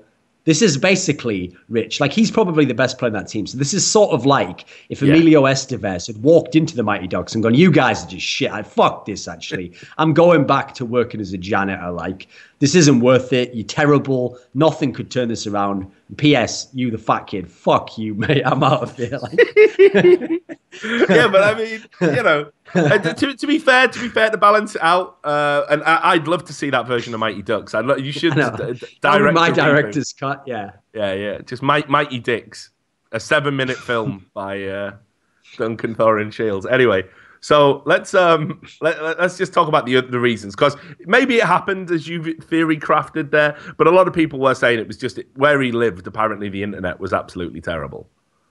Okay. So that sounds like such a sketchy excuse, doesn't it? And that's like, sorry guys, my internet is broken. I must go home to my people now. I'm just like, what the fuck? it was working before, wasn't it? Like, yeah, yeah, well, you know, just just uh just just thought maybe I'd, uh, because his name's Professor Chaos. Maybe he realized he would never be able to catch up with his rival, the Coon, or whatever that was, like Cartman's name. That's going to be my reasoning, you know. I, I, I guess so. Uh, Renegades. Uh, we a little bit of a, a little bit of a clash again of, of scheduling here. Renegades uh, are going to have to miss the FACEIT season two finals, which I'm sure is a, a blow to them because the ESL One Cologne Asian qualifier in Malaysia is being hosted at the same time. But there were some people, I think, trying to light this as a torch paper. Uh, oh, ESL have done it again. They're ruining another event. It's the fucking Asian qualifier. You know, like, it's not like they've put a major tournament on at the same time. Unfortunately, as CSGO grows, you are going to see more conflict here. And as much as I'd like to go in on, on ESL, and we've just spent fucking 30 minutes doing that, you can't go in on them about this. I don't No. think so anyway. Maybe you feel differently. I just think it's one of those things, you know? Plus, here's the thing. Okay, sure. Like it would have been nice to see them face it, and who knows, maybe they could even have a, their own impressive run and, and show us all a lot of good yeah. stuff. But it's very important to play in these majors. And unfortunately, FACEIT is not a major. So if it's a choice between the two, you've got to go for the major, especially because, let's face it, it's almost a lock that they're going to win that Malaysian qualifier. Like, who's going to beat Yeah. them? Plus, you know, Malaysia's a cool place to hang out. You know, dude looks like a lady. You know, I can imagine that have- Aussies having a lot of fun there. Coming, mate. You want to be you want to be careful. knocking back a few beers. Listen, I actually feel like I might be the one who can defeat Sarkeesian. I think it's my destiny, Rich, or I will just go down in a blaze of glory. You know, one of those two. I Well, think you I'm the mate- one who could battle it now. Yeah, well, uh, it, it, Stephen Destiny Benellis has tried, and, and Actually, so, yeah, you might be right. I might, I might step back off that one. So just be careful. Uh, I'm but not yeah, even I- allowed to use the N word freely. So if he ca- if he can't win, maybe all hope is lost. yeah, that's what I mean. I, I think I think some fights are too big even for you, but but I admire your pluck. Uh, but here's what I'll say as well, just to contextualize why these majors are important. Obviously, you're a fledgling brand. You're the LA Renegades. Um, that's what they're calling themselves, you know, obviously for the League of Legends team, just Renegades, I guess, for the rest of it. But um, they're this brand, you know, they did the thing with the bandanas. They're really trying to get brand awareness out there for marketing purposes. That that logo will be in a sticker if they go to a major, right? And the oh, That's a sticker money, logo. yeah, exactly. And the sticker money's good, but brand recognition is something that you can't put a price on. And I think that sticker will actually sell like hotcakes uh, because it's like you say, it's a cool logo. It'll look good on the side of a gun. I can I can see that taking off. So big picture here, it makes more sense for them to be involved in a major. And you say it should be a cakewalk for them out in in Malaysia. It, they just should be able straight in. Even a Renegades that's not playing particularly well should be able to breeze that. They've proven they're the best team in Australia. Where else is someone going to come from? So um, yeah, they're, they're doing the right thing. I, I hope FACEIT don't see it as too much of an affront. They're not that kind of company, so I doubt they will. But yeah, Renegades. I mean, they know. ESEA. They won't. They won't be banning them from the next season. You know, childishly in sort of an an unduly capricious manner until a Super League's formed. Then quickly forget all that because you want to make an exclusive league. Oh, I, I was just hype. That was just speculation there. It's just uh, hypo- hypothetically Yeah. what they might have done. Yeah, yeah, yeah, yeah. Maybe, maybe, yeah. We all we all know about ESEA and their, their wonderful videos, which uh, make us uh, have lots of faith in humanity, all kinds of humanity. Maybe ESEA will work as kind of the magnet to draw Anita Sarkeesian and those types away when they see the sort of shit that they've done, and we'll be saved from that. Maybe that's ultimately their true destiny is to kind of be the sun into which the nukes of Sarkeesian and her cronies detonate. Well, let's see. That's my dream. Yes. E ESWC, they've announced their groups. It's the tournament I can't get you excited about, no matter how hard I try. So ESWC, in not this week, mate. yeah, well, you know, just saying. ESWC in Montreal. Uh, it, it, it's got some good teams there. I mean, I did hear that. Um, Used to. I, I did hear that Navi could be having visa issues, which I mean, given I would argue they've got to be one of the favourites to, to Yeah, yeah. you know that that could be a huge blow for them. It's always uh, sad that the sort of current political landscape can lead to. Did you see the news that broke a couple of hours ago? Uh, yeah, about Hiko. Flip side. Yeah, yeah, I'm gonna come to that right at the end. I thought we'll end on that because uh, I do like uh, I do like to talk about Hiko. It's always fun, and I got a great anecdote for you when the show on, which is gonna blow you. Okay, let's do it. But let's just talk about ESWC. Come on, let's let's just Oh, try. by the way, before I forget, everyone what? has to go and watch that Hiko reacts to Cloud Nine at ESL, Oh, ESEA, right. you know, where they took the Hitler reacts. That was fucking down. I love Hiko, but that was that was funny as fuck, mate. Yeah, that was good. Like, uh, yeah, it was on the front page of Reddit. I'm sure you guys can find it. But yeah, seriously, the thing is, it doesn't matter how many times I see that clip from Downfall, and you know, I speak amazing, relatively decent German. Yeah, but it's conversa- co- conversational level German, let's say. That's why it I'm- hurt you so much that ESL betrayed you, didn't it? You were like, Yeah. I was supposed to be the chosen one who could have Yeah. bridged the gap between Britain and Germany. That was it. That was the plan all along. Just didn't happen like that though. ESL, just uh, you know, it's it's a massive letdown. But um, macked ESL.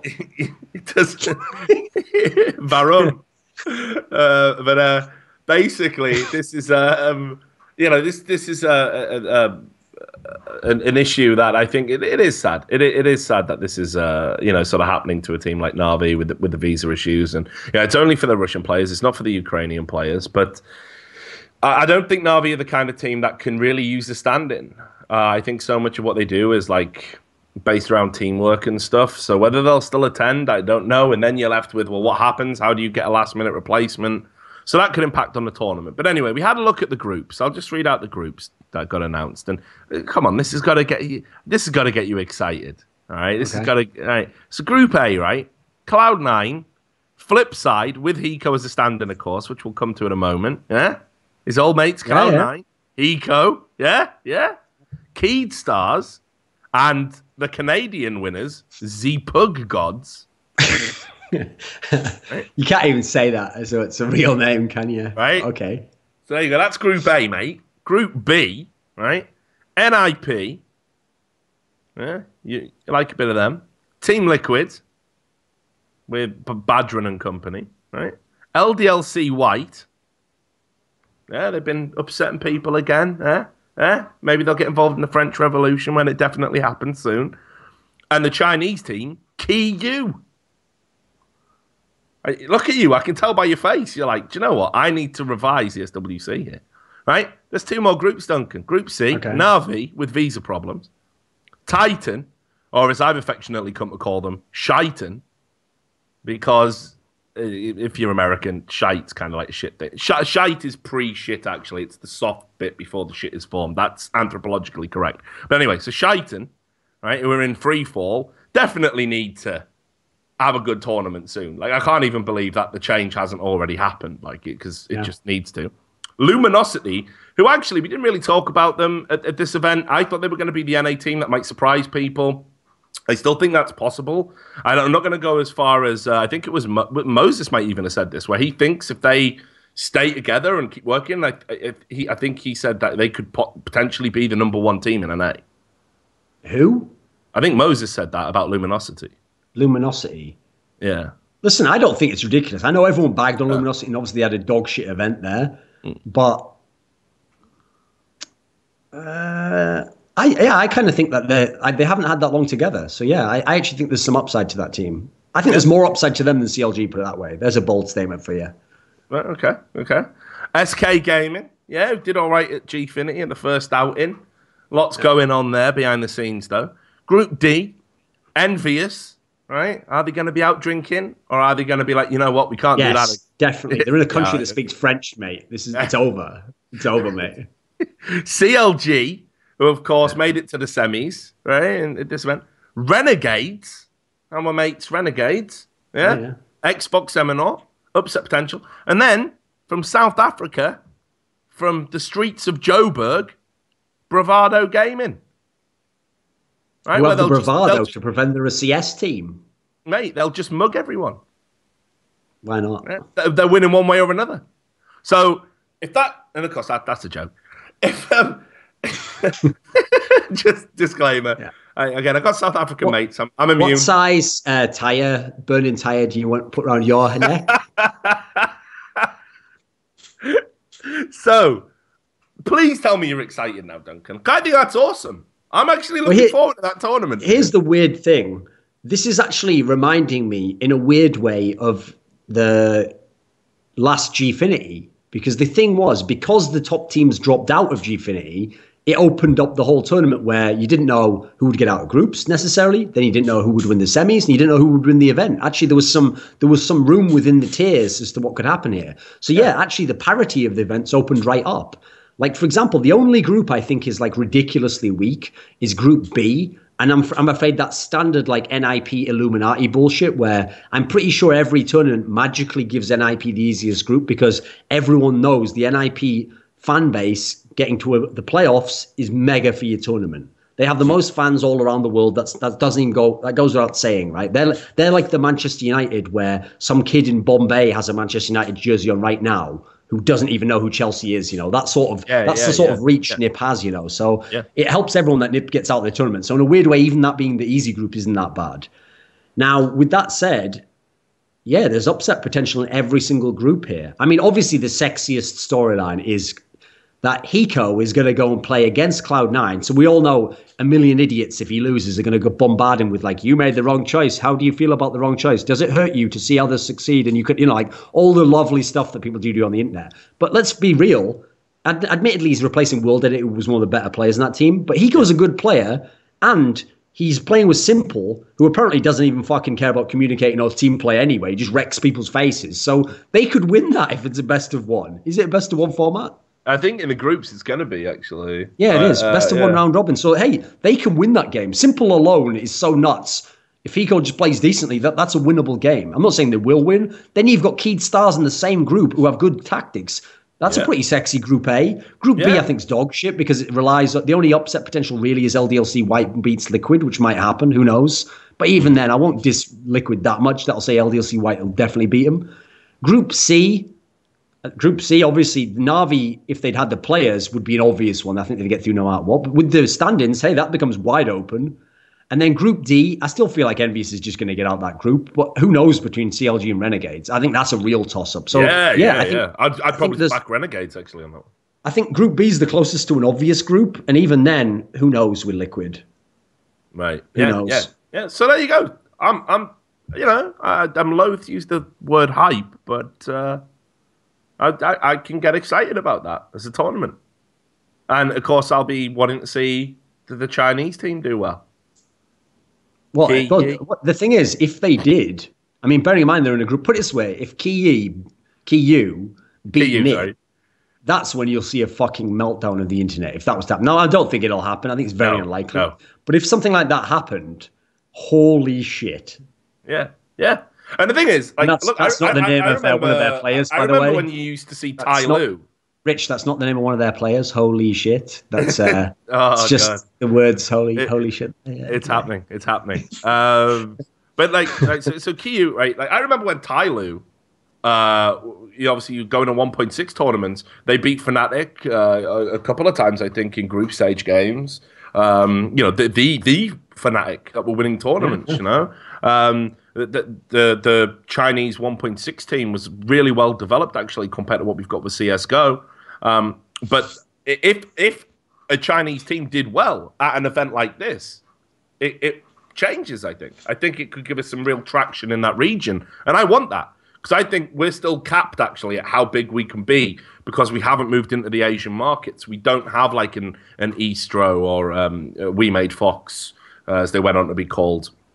Um, you know, in Korea, we we don't have a Tyloo equivalent in CS:GO yet. You know, and we need them. I think when we get them, boom. You know, I think I think the roof really blows off this. So I'm going to be cheering on for, for those guys, and you can you can stop smirking, right? Wipe that smirk off your face, mate. All right. So yeah. So anyway, ESWC. We're, come on, you're going to watch it now, aren't you? I mean, yeah, there's there is a rabid fan base out there in China, and if we can just get to some young guys, You're a fucking idiot. As if you've been sat there with a smirk on your face, trying to work that in. That is like a new fucking low right it wasn't like- even good, was it? no, no. wasn't even good at any level. Oh well, fuck it. It's late where you are, so uh, I'll let you off. Right. So anyway, let's do it. Let's do it. Let's wrap up the last two things. DreamHack Austin announced. DreamHack's finally going to go over and try and conquer the states. Doing it in Austin, Texas. That's where my employers, the Daily Dot, are based. So they're hyped about it. We can get all of our staff and crew out there, and I'm hoping in 2016, I'm, DreamHack is still employing me. Maybe after this show, who knows? Uh, we, we, we- we've done a bit of everything on this one. But um, I mean, again, this is uh, uh, perhaps a, a strange location in some people's eyes, but actually, this has generated loads of hype on the internet. This this announcement. So, uh, what, what do you think about that? Are you, are you happy to see CS:GO going to Austin, Texas, home I mean, of I'm glad- guns?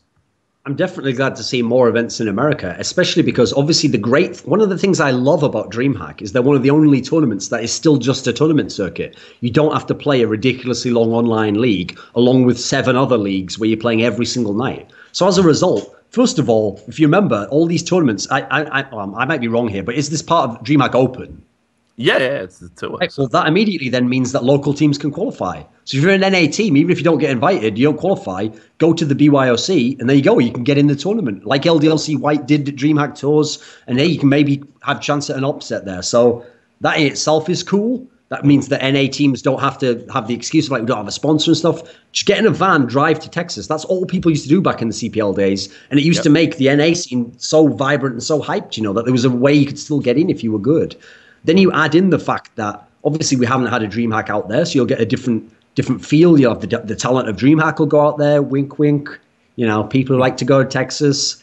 Uh, apparently, I don't know much about Texas. I've only been to Dallas, which is kind of crap, but Yeah. and nothing like the TV show. Like uh, there was no highfalutin No. business going on. No one even shot anyone. It was just a bunch of fat people in Dodge pickup trucks driving around. So, you know, I'm, wait, I'm, But- I'm watching the stream now, and Sam's scrolling down the HLTV announcement. And if he scrolls too far, he's going to see a classic HLTV comment, which was "saw this and thought it was dream hack autism." so don't don't scroll down too far, Sam, please. Okay. Whatever you do. But okay, Um, the other thing is, I have actually heard. Again, I said like I haven't been there, but people always say within Texas, Austin's supposed to be the coolest place. That's the place that like all the hippie type people move to, and it's like the the place where people have fun and it's a party place and that's where all the cool concerts are. So if that's true, it sounds like the sort of place DreamHack fit in, you know. And by the way, anyone who talks shit like, oh, why is it in Austin, not New York? Try and have a look where the fuck Jönköping is in Sweden. It ain't. It ain't Gothenburg or whatever, mate. It's it's it's not the best place. So th- I think Austin sounds fine. It'd be cool to have another event. Obviously, it's better to have more NA I- events actually, as well. you're right. Compared to like Jönköping, which is in the fucking like Bible Belt of Sweden, like Swedish ridiculous drinking laws anyway, and then you got Jönköping, this scenic, Yeah, it is it is like rednecksville in a, in, in a way, you know, for, from you would find in America out there. So actually, Austin's like I couldn't believe it. Like I was talking to the guys at the Daily Dot, and they were like, "Yeah, it's super cool, super liberal out here. You know, everyone having a good time and that." So just saying, um, you know, it, it could actually be amazing. Um, and I'm sure it will be because it's DreamHack and DreamHack are going to send me there hopefully. So and you too, unless you're in Korea again. So I mean, it, it's it's a way, a way away though. That's the thing. It's in May next year, right? So, Hmm. Sign me up. yeah, yeah, yeah. Where's Hey. where's the where's the contract? Hey. Where's the contracts at? Mike. Van- Also, you know what they say, Rich? Everything in America is bigger, so our pay must go up as be. well. mate in Texas. Logically, I- yeah. And I'm hoping by that point, actually, my I've grown in stature, like figuratively, not literally. Yeah. Uh, although that might be good for me out there, I don't know. But uh, to the point where I can, I, we can have some real rock star rider shit. Like Yeah, me and you can just go absolutely nuts. Like, but just I think you know, the only problem we have is that since we keep making it so public that like there's there's no way back with the SL, we are actually sort of driving our own leverage down. You realise at every turn, we should Hey. at least leave some glimmer of hope. You know. you know it's only a matter of time before uh, you know R- Ralph at ESL just picks up the phone to us and goes, "Look, we, we can never use you in a talent capacity, but how about you come and be our like advisors? You know, we put us on Consultant? boards. Yeah, Yeah, yeah. You watch, you watch. It'll happen. It'll happen. I think our, I think our leverage is up. I think we're at an all time high, Duncan. Now, speaking of that, speaking of prima donnas and and uh, you know superstars. Hiko stepping in for Flipsid3. So first of all, let's just talk about the thing on the surface value. I'll end the show with an outrageous anecdote, which I, I don't know whether to believe it or not, but I think it's brilliant if it's true. Um, so stepping in for Flipsid3. Nobody saw this one coming. Um, now, Flipsid3 uh, uh, famously, you know, kind of struggled because of the s1mple issue. You know, he's banned from some tournaments, not banned from others. But Hiko going into a team of Ukrainians, how did, how did these guys like know each other? Like, how the fuck does this happen? Oh, is that a question? I thought I think you had an anecdote. You said. No, no, the anecdote's coming right at the end of the show. Oh, right. I So have no idea because, as far as I could tell, the only tournament they've ever even attended would have, would have been something like, well, the majors. There was the ESL One Cologne when they were that team, and then there was the one where s1mple and Blade were involved with Hellraisers. But I still can't understand how they would have crossed paths. Like maybe I could believe, okay, Hiko knows the Navi guys, but I wouldn't actually know how he knows any of the Flipsid3 guys. I wouldn't, I wouldn't really see any connection there. So, I mean, look, uh, there's some theory crafting already going on about this, and it's that simply he's stepping in purely and, purely because Cloud9 are in the group. Is that is that is he that is he that still hung up on Cloud9? Like, Well, if you want to make the conspiracy theory better, Rich, what you have to do is if it's a rumor like that, where already it's like it might be mildly unfounded, probably just a little bit spiteful. So let's just make it sexier. What actually happened was he just said to Flipsid3, guys, come on, you don't win tournaments anyway. Using streaming money, I'll actually pay you ten thousand dollars to keep WorldEdit at home. Just say something about visas in the West. They all think you're all simple out there and you can't even fill out forms. And then I get to play against Cloud9. And I'm telling you guys, I'm I'm carrying that game. So s1mple, stay the fuck up away, and it's my show now, okay? And s1mple was like, "What's your surname?" And he was like, "Martin." He like looks up and he goes, "Not German." Okay, you can play. yeah, I was gonna say. I've, I've made As it better, right? Yeah. If, if, if they'd used the German standing, that would have been the best, I think. But Yeah, it, yeah. it didn't happen. Didn't happen. Next. Um, so here's here's the anecdote. Here's the anecdote I've been hyping up, right? So I was like, you know, I've been doing some digging into all the stuff that was going on with NA because obviously Valve. Um, and I should probably I'll mention this in passing. It was a report I did over at the Daily Dot. We had official confirmation that Valve have now said that the players that were banned in the match fixing scandal and affected I by Power, they cannot go to a major as a coach and analyst. They cannot help or influence the team at all. In fact, they would even rather they didn't help them with preparation, ideally. But, they, they better get those boots because what if like Steele goes to Cologne and he just shouts out like they, they're gonna come B probably next round like that Yeah. that that, would, that might be illegal. Yeah, yeah, I I reckon it might be very much so. So we uh, they they said that, and while I was digging into that story, it just in passing with somebody that I was having a conversation with, they told me this story about Hiko in Nihilum, right? And you're gonna love this because if this is true, it's one of the most funny things I've ever heard. Now we all know that when Hiko was. Uh, Touting himself around the teams, it, massive salaries we were talking about. It was the him and Skadoodle pairing originally, and then Skadoodle cracked. Massive signing on fee to go to Cloud9, obviously. But then still, Hiko still obviously has star power and he, ne- he negotiated himself a pretty good contract apparently with the Nihilum organization. Now, apparently, there's a clause in his contract, right, where he doesn't have to practice past a certain time, Okay. right? He just he can just you know uh, Is time it 420? Is that But- a joke? No, no, no. There is no joke. There is no joke. There really isn't a joke coming. But apparently, it's been causing a little bit of friction, a little bit of consternation because when it hits that time, apparently, he literally just like logs off and he doesn't say anything to anybody else. He's just like, "I'm out, motherfuckers. Peace out." Like, I like to imagine he literally just has like the power cable in the wall and he just pulls it out. Like even with everything on his computer, everything so like, Yeah. up, and he just drops from the server and they're like, Oh, I guess that's the end of practice then. So, so I, I, I just thought that's incredible. Like, and then I started thinking about like, oh, individual players and the clauses they might have in the contracts. Like, if you're start, this is great. This is great for the game. Not, not great for teams, but great for the game. You See, know? I thought when you said it was a ridiculous antidote, you were going to go like, he has this clause in his contract. No one's allowed to get more frags than him. So if he's if he's having a game, he's struggling, thirteen frags. You better not even accidentally pick up a grenade kill, motherfucker. You do- you do not show me up. This is my team. it's a matter of time probably before we do get into that territory. But I mean, That's like, why that just- automatic guy got kicked out. He had one game where he just he was feeling it and he was like, "Screw you, man! I, I can't hold back my talent." And then he had a game. He got like thirty frags. Hiko was like, "Well played. It's the last game you'll ever play in this fucking team. Get out the door now." He's like, So- "What? Are you going to kick me from this team?" I already did. You're already dead. uh, Fist of the North Star reference. Um, so, just just some thoughts about this though, because we did see Nihilum in, in, in free fall, and then they made some roster changes. You hear a story like that, and if you've got my kind of brain, Duncan, you start thinking maybe maybe there's some internal problems going on over that neck of the woods. Uh, could be. I think. I think part of the reason that they changed the players is that I mean a lot of those players weren't really that proven anyway. They had like one LAN, so I think they were kind of waiting to see well who. I, okay, here's here's my theory. I think going into Nihilum that people like Semphis and Hiko didn't necessarily think like, well, we we- this is going to go great. We're going to keep these players. I think it was always a case of like, we'll probably remove someone anyway. We'll you know we'll keep the ones that seem legit, and then we'll bring in other good. Pl- like they already know Desi's a known quantity at this point anyway. He's played in other teams. He's been to LANs, so I think they were always going to upgrade at some positions. A prediction So- we got right, by the way, on this show. Yeah, yeah. So it could be accurate that they just they were sick of that guy, and hey, maybe there's other people to come in the future. I don't know. I have to say though, I actually do hope that there are crazy because because here's the sad thing. Just selfishly, it does make me think if it's getting to the point where people can make create crazy things like that, eventually. I can use this whole thing about career rich where I'm like, oh, I need to like cut back on some of the events I'm doing. So I'm gonna have to be really choosy as to which ones I pick, you know. I really just want to work with the ones that like want to partner with my kind of talent, you know, and like provide me with the, the right vehicle. And then they're like, yeah, yeah, where are you going with this? Like, no more DDK. He's out. I'm done with that guy. Yeah, mate. Or he pays me half his salary. One of the two. Okay. It's got to be one of the two. In fact, uh, just to, just to wrap up the show, finally, of course, you're not going to be at uh, at Valencia, um, and and and uh, you know, so- which I know lots of people are disappointed about. I did see uh, uh, a few posts on HLTV. I think it was after last week when you went in on NiP. There was some Portuguese guy in particular who said, "When I see you at Valencia, I will smash."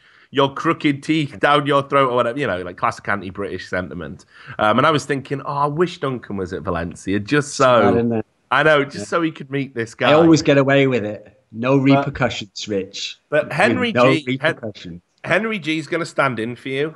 And Yeah. I've never been on an analysis desk with Henry G. What a lot of people don't realize Yeah. is before CS:GO uh, took off, me and Henry G used to be casters. We were we were partners. We could have been the uh, James Bardolph and DDK partnership, but he sold out. He wanted to go make some money. Started working for uh, like some subsidiary of Microsoft doing Xbox games events, and the partnership was broken.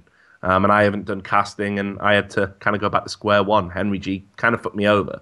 So obviously, I'm going to miss you. I'd rather you were there than Henry. Fuck Henry G. Fuck Easy Skins. Yeah. Fuck all of his hard work. I don't even steal people's skins, Rich.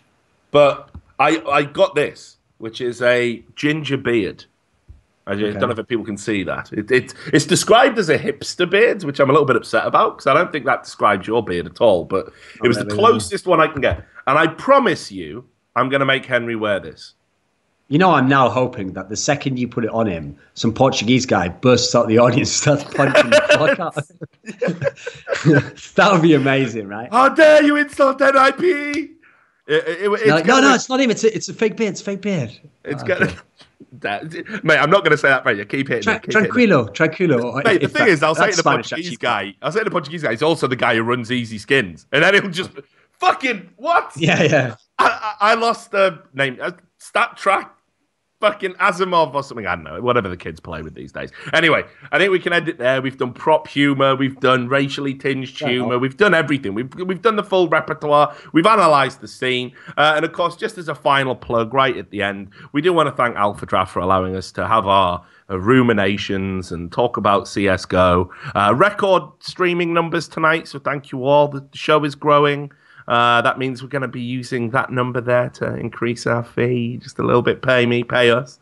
Hashtag pay us. Um, but here's what I want to say as well. Obviously, if you like this content, AlphaDraft are out there. You can sign up to their website, no problem. They do, um, you know, fantasy drafting. If you've not had a go on it, it's dead simple.